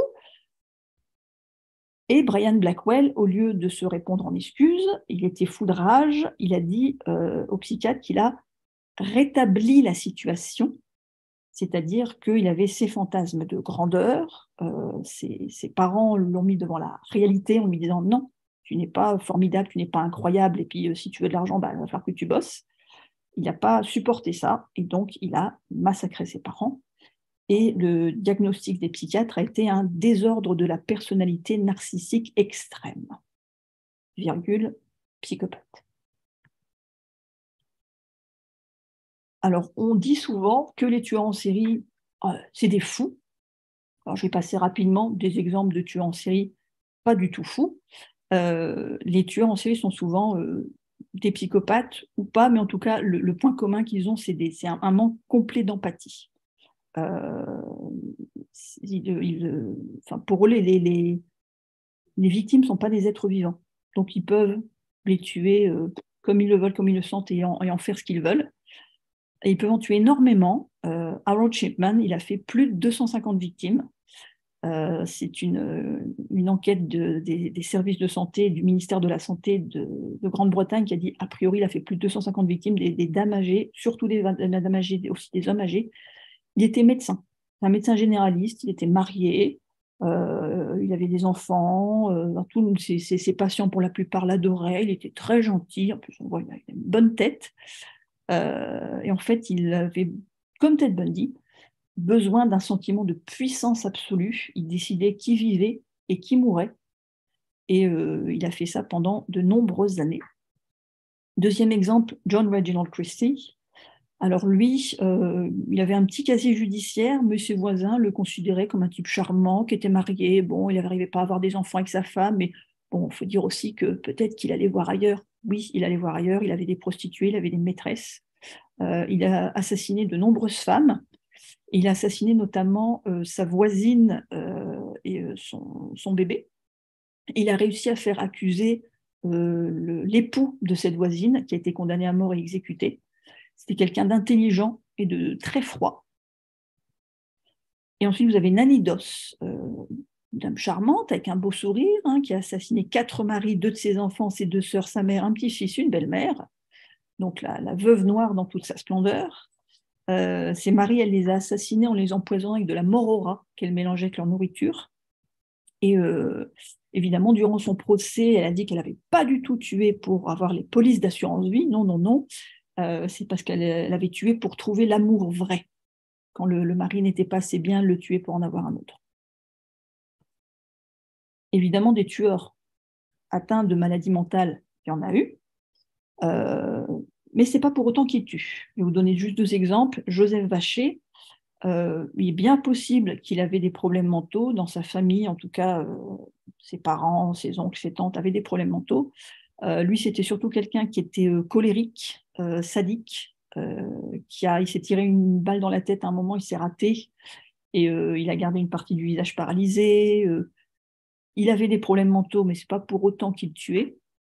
il a massacré, on l'a, appelé l'éventreur du Sud-Est, il a massacré des adolescents, des enfants, des jeunes femmes et des dames âgées.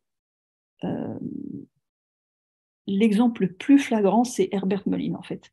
Herbert Mullin, il a assassiné des hommes, des femmes, des enfants, il a été diagnostiqué euh, schizophrène paranoïde. Il était atteint de schizophrénie paranoïde. Il est allé plusieurs fois dans des hôpitaux psychiatriques où il y a eu un diagnostic. Ils ont dit cet homme est atteint d'une maladie mentale.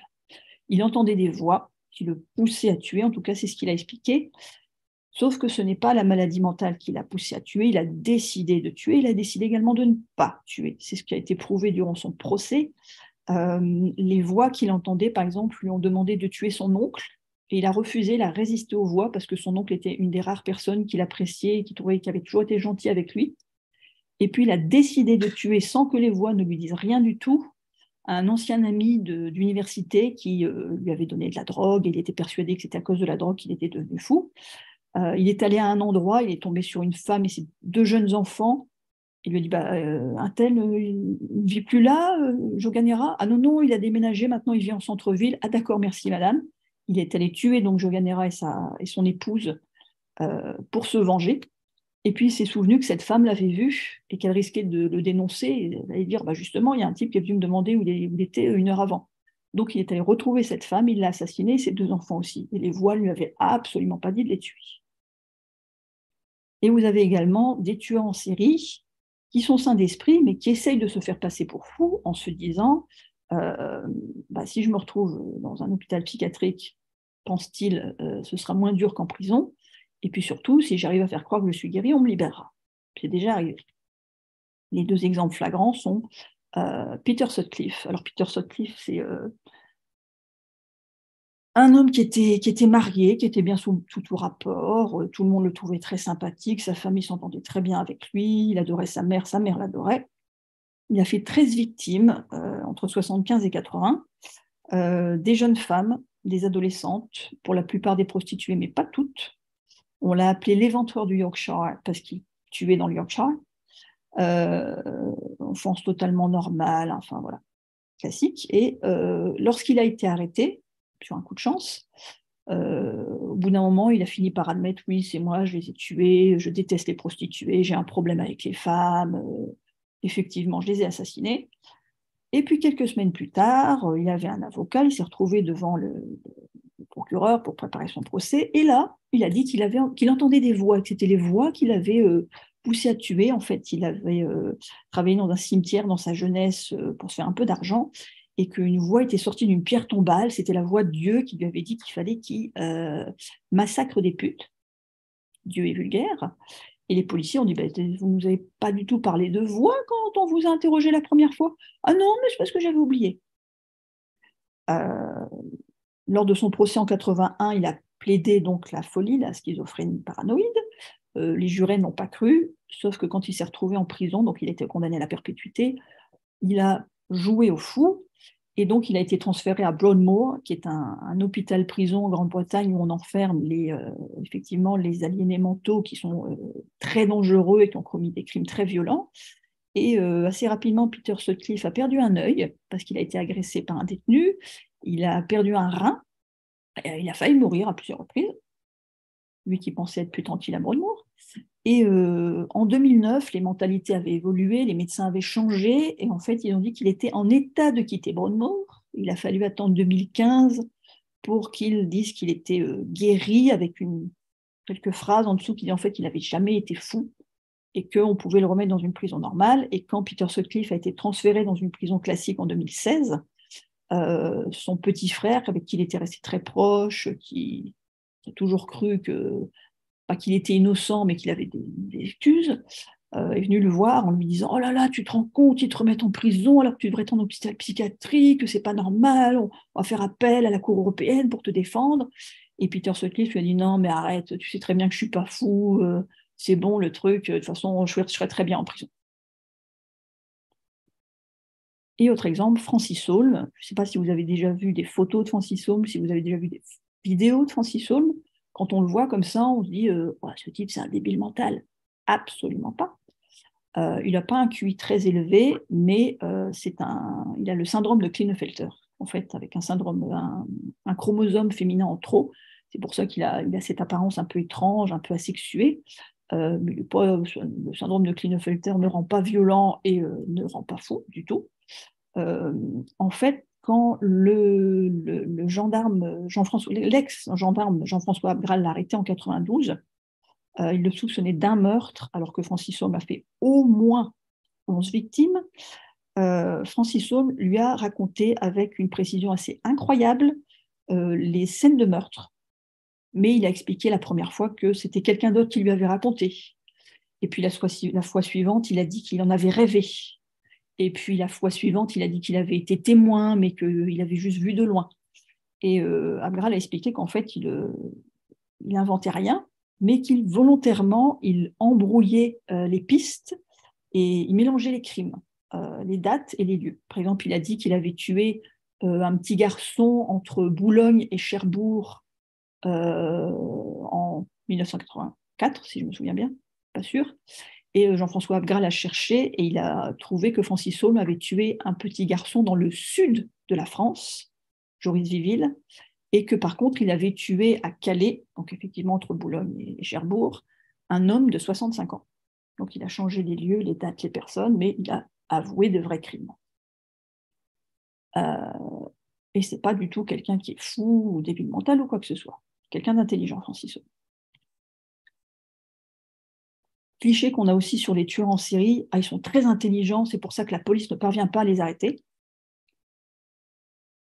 Stephen Port, euh, c'est un tueur britannique à Barking.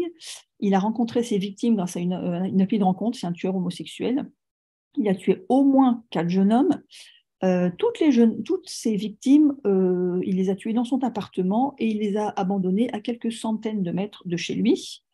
Euh, sa première victime, en fait, il a fait un appel anonyme à la police. A priori, c'était un accident. il a dit qu'il y avait un jeune homme qui était évanoui, qu'il y avait eu un malaise, juste devant son appartement, mais pas chez lui. Euh, et la police a fini par comprendre qu'en fait, euh, il s'était amusé, mais que ça s'était mal passé, en tout cas c'est comme ça qu'il l'a fait comprendre. Euh, et il a été reconnu sous coupable seulement d'avoir perverti le cours de la justice. Il n'a passé que quelques, mois en prison, puis on l'a laissé sortir avec un bracelet électronique. Et par la suite, entre août 2014 et septembre 2015, il a assassiné au moins trois jeunes hommes dont les corps ont été retrouvés dans le cimetière de l'église de Barking, juste à 100 mètres de chez lui. Et la, raison pour laquelle on n'a pas arrêté tout de suite, c'est ça a été prouvé par une enquête euh, indépendante, euh, parce qu'on s'est dit la police n'a peut-être pas bien fait son boulot. Bien oui, il y a eu des, problèmes d'homophobie. Comme les victimes étaient homosexuelles, euh, il y a beaucoup de policiers qui sont fichés, qui ne voulaient pas enquêter sur les meurtres de ces jeunes hommes. et puis aussi, il y a eu des, erreurs qui ont été commises. Alors, est-ce qu'ils ont été mal formés Je ne sais pas, mais les, policiers ont fait des erreurs de, procédure, ils n'ont pas fait des prélèvements ADN. Enfin, ils ont commis énormément d'erreurs et c'est pour cette raison que Stephen Porte n'a pas été arrêté, non pas parce qu'il était particulièrement intelligent. Et un autre exemple, c'est euh, dans les années 80 et jusqu'à la fin des années 70, il y a eu de nombreux tueurs, euh, de nombreuses femmes, pardon, de nombreuses femmes noires qui ont été euh, assassinées, étranglées dans le sud de Los Angeles.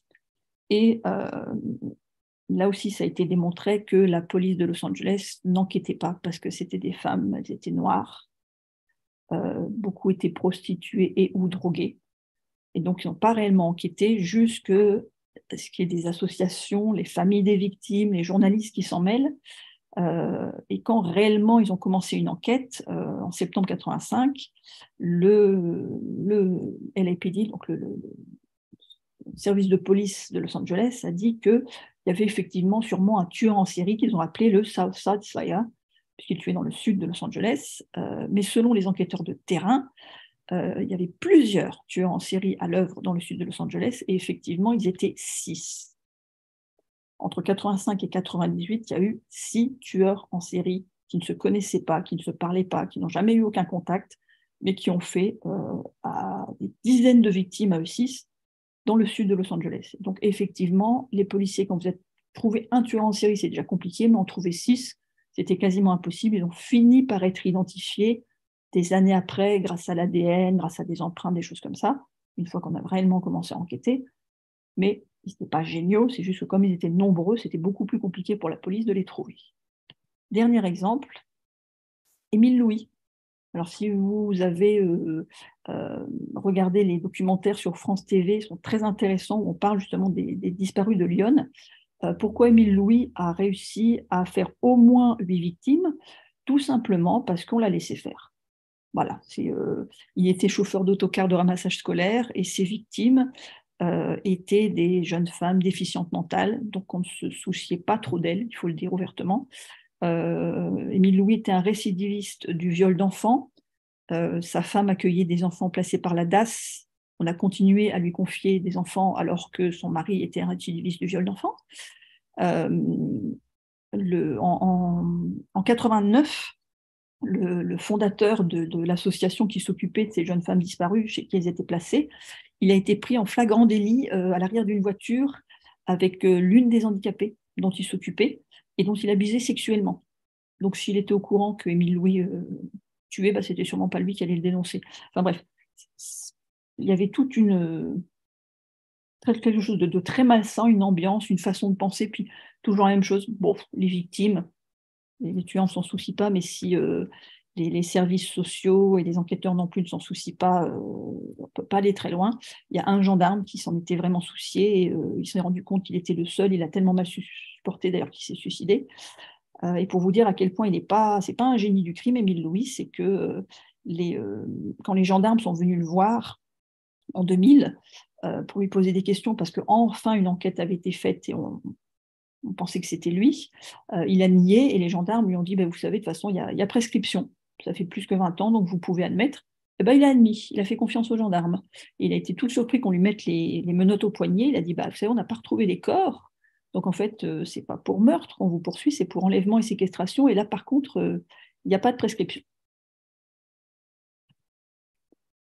Et puis enfin, est-ce que les tueurs en série sont tous des monstres? Alors, dans un sens, oui, sauf qu'ils ne paraissent pas être des monstres. Dennis Rader, il a fait dix victimes, il les a massacrées. Entre janvier 74 et 91, il les a torturées. Il a fait des choses absolument affreuses. Et sur la photo, bah, vous voyez sa fille lors de son mariage. Euh, pour elle, elle a toujours dit, lui, c'était mon petit papa. Elle dit oui, il avait un caractère un peu particulier, euh, il avait souvent raison, parfois il s'énervait. Mais c'était mon père, il n'a jamais levé la main sur moi, il ne m'a jamais maltraité, ma mère non plus, c'était mon petit papa chéri. Les tueurs en série, euh, souvent ils ne sortent pas de l'ordinaire, ils paraissent banals, et d'ailleurs c'est souvent euh, pour ça qu'ils arrivent à échapper à l'arrestation. et beaucoup sont, sont, des solitaires ou sont un peu antisociaux, mais beaucoup aussi ont des familles euh, un métier, des diplômes, euh, ils sont appréciés par leurs voisins, par leurs collègues. Et euh, Ted Bundy lui-même a dit, vous savez, je suis pas stupide, je suis loin d'être un génie, mais les gens ont utilisé le truc du terriblement intelligent, terriblement beau, comme partie du processus d'image. Je ne suis pas exceptionnellement beau, je ne suis pas exceptionnellement intelligent, je peux même ne pas être intelligent selon les définitions de certaines personnes, ou beau d'ailleurs, mais ça fait partie de la création du mythe de Ted Bundy qui est distinct et différent de ma réalité. Il l'a dit, sa tête Bundy, à deux journalistes, Stephen Michaud et Hugh Engworth, qui se sont liés à lui un peu avant ses procès en Floride. Ils sont devenus, alors lui pensait qu'ils étaient amis, les journalistes ont très bien compris que c'était euh, un meurtrier, mais ils se sont dit, il y, a, moyen quand même de faire des articles et des livres hyper intéressants avec ce type. Et ils ont compris surtout que Ted Bundy était un narcissique, bon alors un narcissique, un point qu'on pourrait difficilement imaginer. Euh, ils se sont dit, on va, on va utiliser ce narcissisme. Ce type est intelligent, mais on pense que son opinion de lui et son narcissisme sont plus gros, plus importants que son intelligence. On va tester quelque chose. Ils sont allés voir Ted Bundy en lui disant, euh, bien évidemment, vous êtes innocent et vous n'avez tué personne. Bien sûr, j'ai tué personne. D'accord mais quand même, vous avez, une licence en psychologie, euh, euh, vous connaissez le, fonctionnement de la psychologie des criminels. Oui, et puis vous avez travaillé au département de la justice, vous avez étudié les, la chose criminelle. Oui, tout à fait. Puis vous êtes étudiant en droit, vous auriez pu devenir avocat, donc vous, vous connaissez aussi tout. Oui, tout à fait. Donc, pourriez-vous nous donner votre idée sur ce que, pour, ce que pourrait être le vrai tueur qui a assassiné ces femmes, selon vous? Et Ted Bundy, au lieu de leur dire Ben non, non vous mentirez vers un truc un peu louche, il a dit Oui, pas de problème. Et donc, il y a deux livres qui ont été publiés où Ted Bundy commence en disant Je pense qu'il fait comme ça, je pense qu'il fait comme ça. Et à mesure qu'on avance, il finit par dire Je, je, je. Et donc, Ted Bundy, il a décrit euh, ses crimes avec ses propres mots. Euh, il a expliqué qu'en fait, euh, ça avait été un, long processus vers le meurtre, qui avait donc commencé vers l'enfance, l'adolescence, avec des fantasmes, qui s'était empiré à l'adolescence, et qu'il a décidé de tuer et de recommencer à tuer. C'est une, décision, c'est une volonté, euh, même quand il parlait de pulsion irrésistible. Euh, je vous donne un exemple, il, il s'alcoolisait volontairement. C'est-à-dire que bon, il, était sujet à des, à des dépressions cycliques, euh, mais c'est aussi parce qu'il voulait faire disparaître ses appréhensions. C'est-à-dire que surtout au début, euh, il voyait encore un petit peu ses victimes comme des êtres humains, mais surtout il avait peur d'être arrêté. Et ça l'embêtait d'avoir cette appréhension, d'avoir ces, regrets, d'avoir ces hésitations. Il voulait tuer, lui. C'est ça qu'il voulait. Il était tellement heureux quand il avait ce sentiment de puissance que l'hésitation, ça l'embêtait. Et il avait très bien compris qu'en buvant, il faisait disparaître cette appréhension et ces hésitations. Donc quand il avait envie de tuer, il s'alcoolisait volontairement. Et pourquoi est-ce qu'il tuait? Pour posséder ces personnes physiquement comme on posséderait une plante en pot ou une Porsche être propriétaire d'un individu. Alors cette citation est absolument affreuse, mais elle résume terriblement bien euh, la façon de penser de Ted Bundy. Il considérait ses victimes comme des objets. Euh, c'est typique d'un tueur en série psychopathe parce qu'ils n'ont pas du tout d'empathie. Euh, pour lui, ces victimes n'étaient pas des, personnes, c'était des objets, des, des, écrans blancs sur lesquels il pouvait projeter ses fantasmes et faire ce qu'il voulait. Et il est même allé plus loin en disant la possession ultime était en fait de prendre la vie et ensuite la possession physique du cadavre. Donc là, il admet à demi-mot la nécrophilie.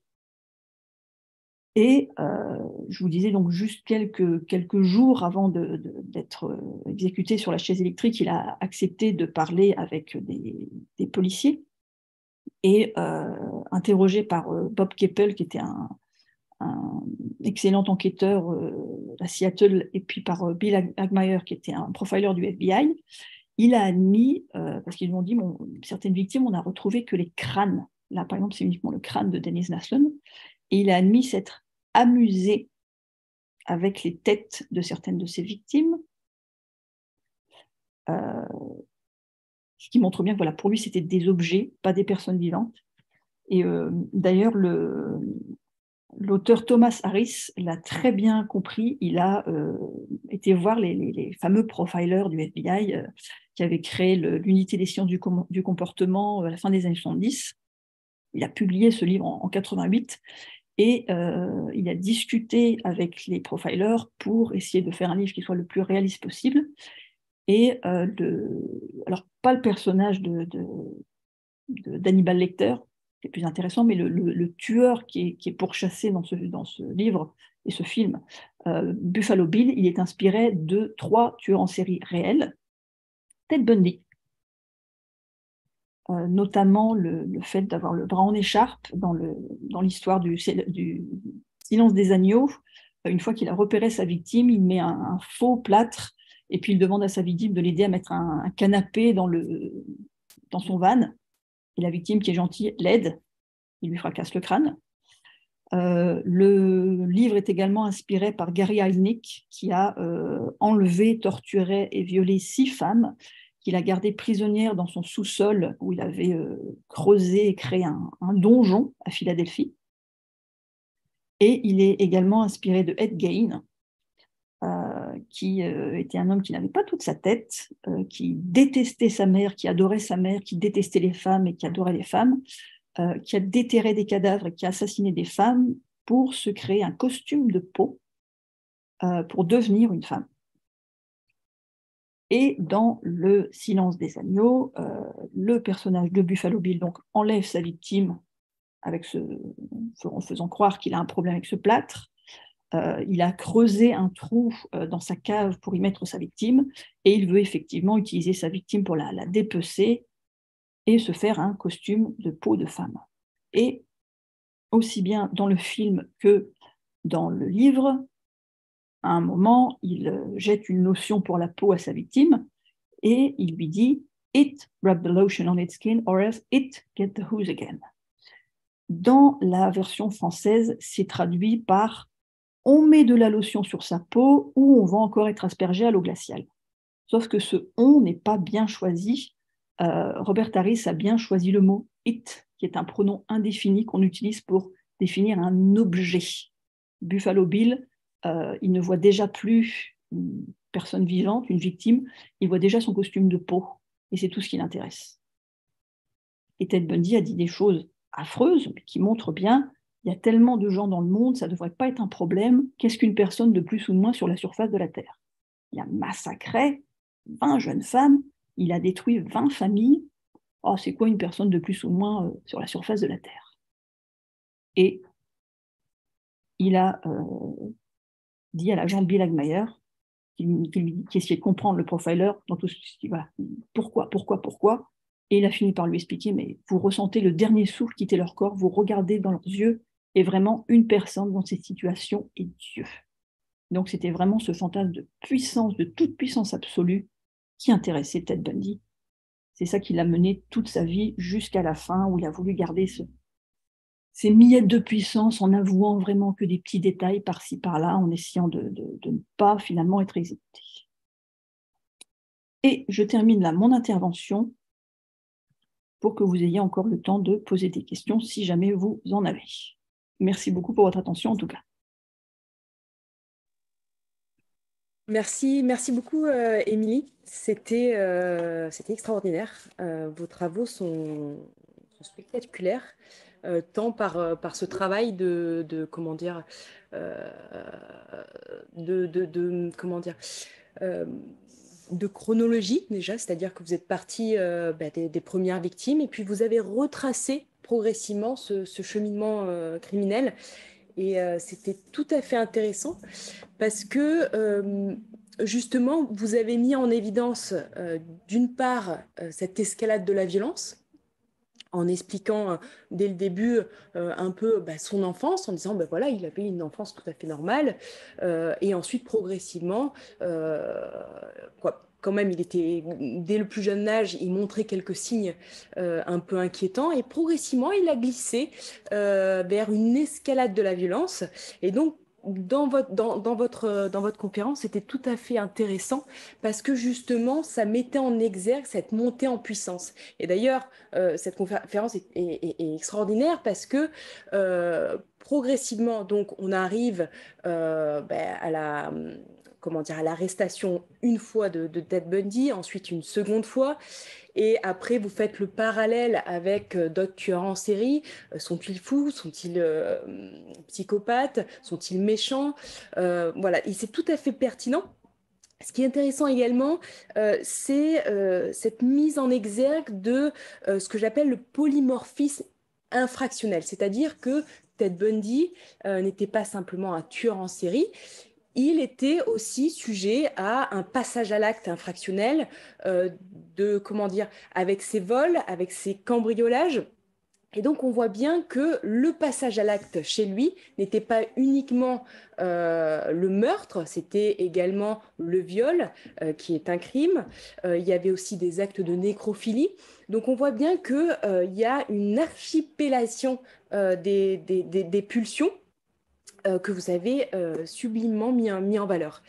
Euh, donc je vous remercie beaucoup pour votre travail. C'était extraordinaire. J'espère je, avoir l'occasion de réitérer une telle expérience. Je vais laisser la parole quand même aux étudiants pour s'ils ont des questions à poser à, à, à Émilie présentement. Ou pas.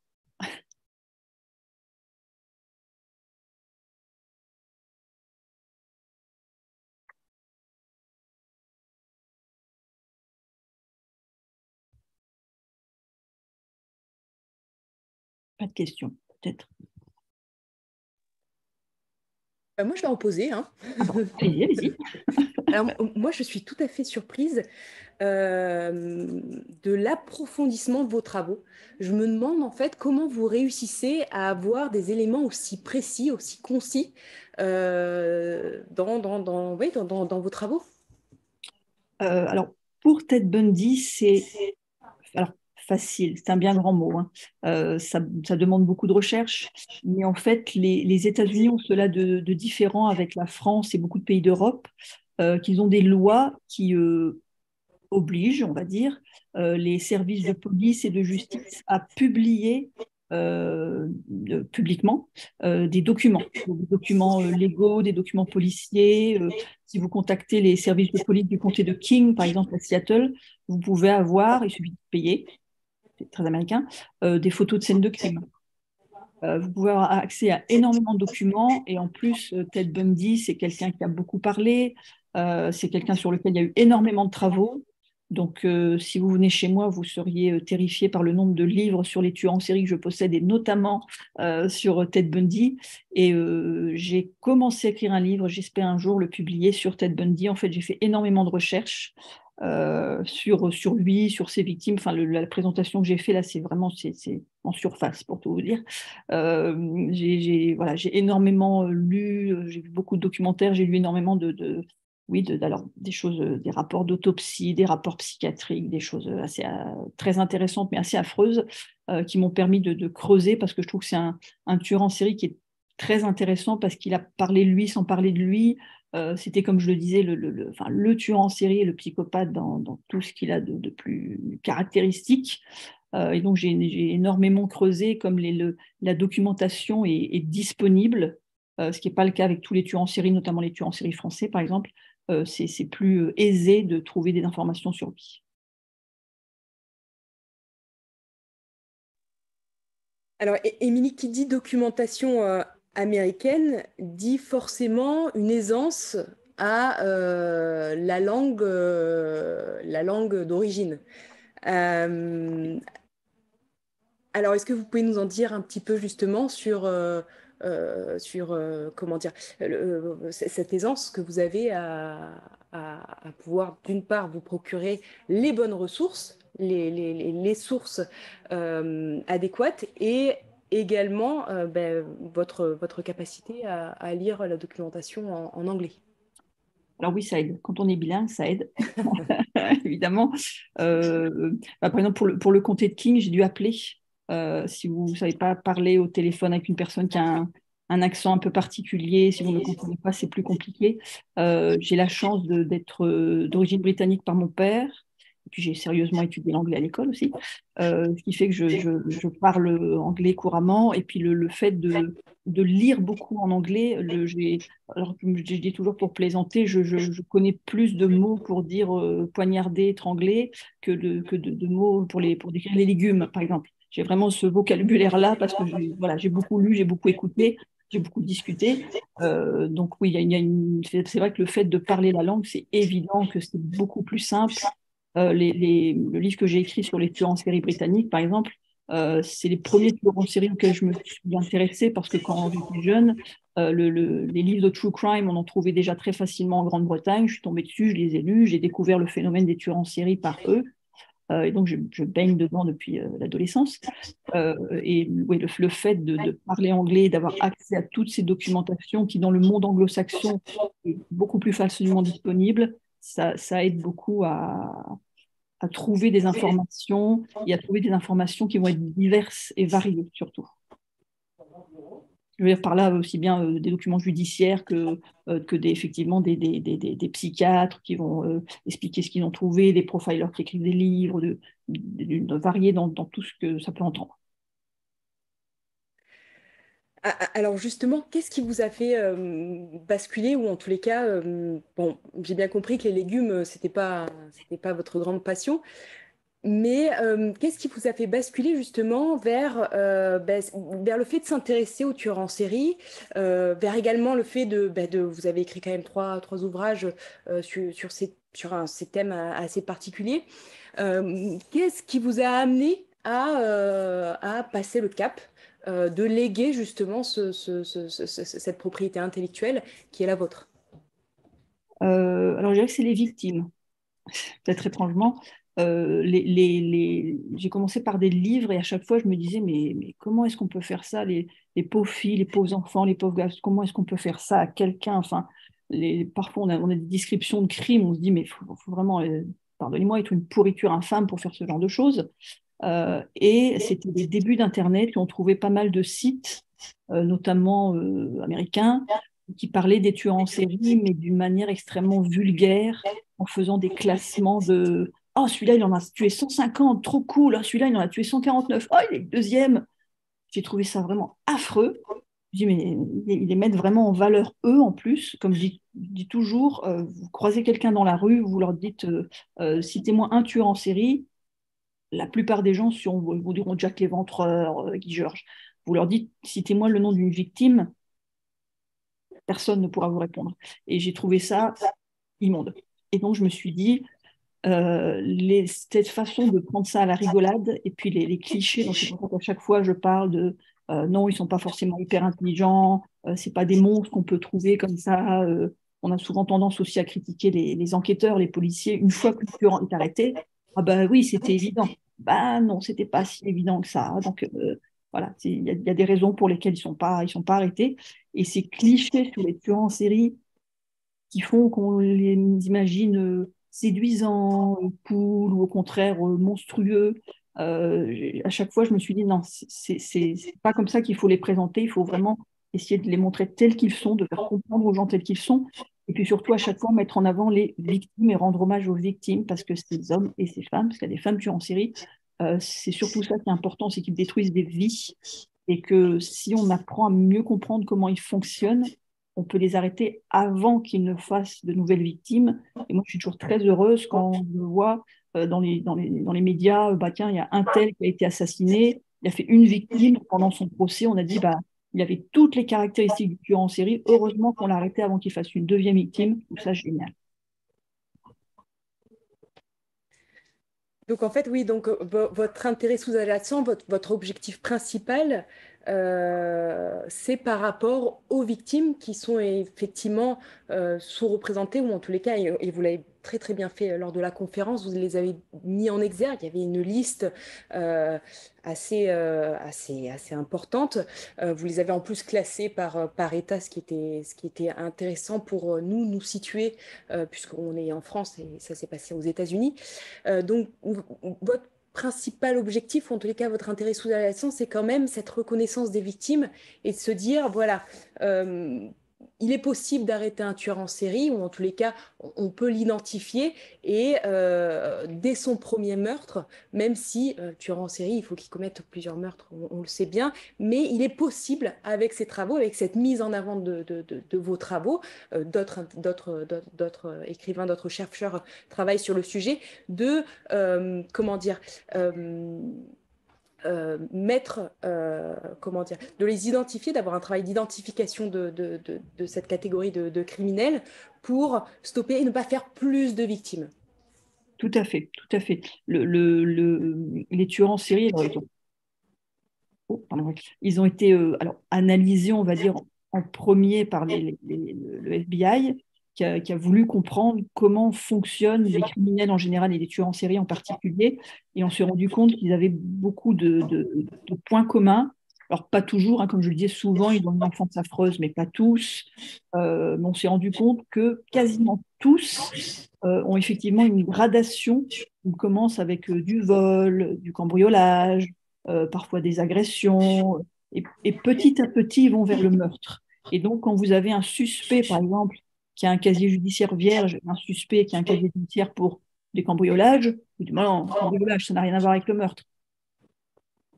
À vérifier, cambriolage, qu'est-ce qu'il a fait? Il a vraiment volé ou il a été volé des, des, sous-vêtements? Il a été fouillé dans les photographies euh, intimes des personnes? Euh, Ça a permis de comprendre que les tueurs en série ont des, des fonctionnements, euh, pas tout le temps évidemment, mais qui peuvent attirer l'attention et qui peuvent faire qu'on va se dire tiens, ce suspect-là, est plus intéressant que les autres parce que. Euh, on a aussi souvent parlé de la triade de McDonald's, qui est le fameux euh, euh jusqu'à un âge avancé, euh, et ils sont pyromanes, parfois en tuant des gens, ça donne aussi un sentiment de puissance, le fait de détruire par le feu, et puis ils s'en prennent souvent à des animaux, euh, ils tuent des chats, des chiens, des oiseaux avant de s'en prendre à, des, êtres humains. Et ça aussi, ça doit attirer l'attention. et même si un, tueur ou une tueuse n'a fait qu'une victime, s'il a ce passé criminel-là, ça doit tout de suite tirer la sonnette d'alarme et euh, pointer l'attention vers lui. Alors effectivement, je, vous rejoins euh, sur ce que vous venez de dire. Effectivement, on peut mettre en, lien, en connexion euh, des catégories euh, d'infractions. Effectivement, vous l'avez très très bien fait, ce pont que vous avez fait entre le, la tuerie en série ou souvent c'est le viol, mais pas que, euh, et le vol avec effraction. Il y a une étude qui a été faite, euh, alors je crois que ce sont les, travaux de, de euh, donc V-I-2-L-E-R-B-U, qui a interrogé une, centaine, je n'ai plus les chiffres en mémoire, de personnes incarcérées pour ces, pour ces faits-là. Et justement, il a été mis en exergue ce pont, ce lien entre ce profil de violeur et ce profil de, de, de voleur avec effraction parce que justement, dans le viol, il y a une recherche de consommation avec une satisfaction sexuelle organisme. Et euh, chez le profil des vols avec effraction, on va rechercher un profit dérobé, écoulé, euh, sans stocker euh, ou le vol à l'arraché.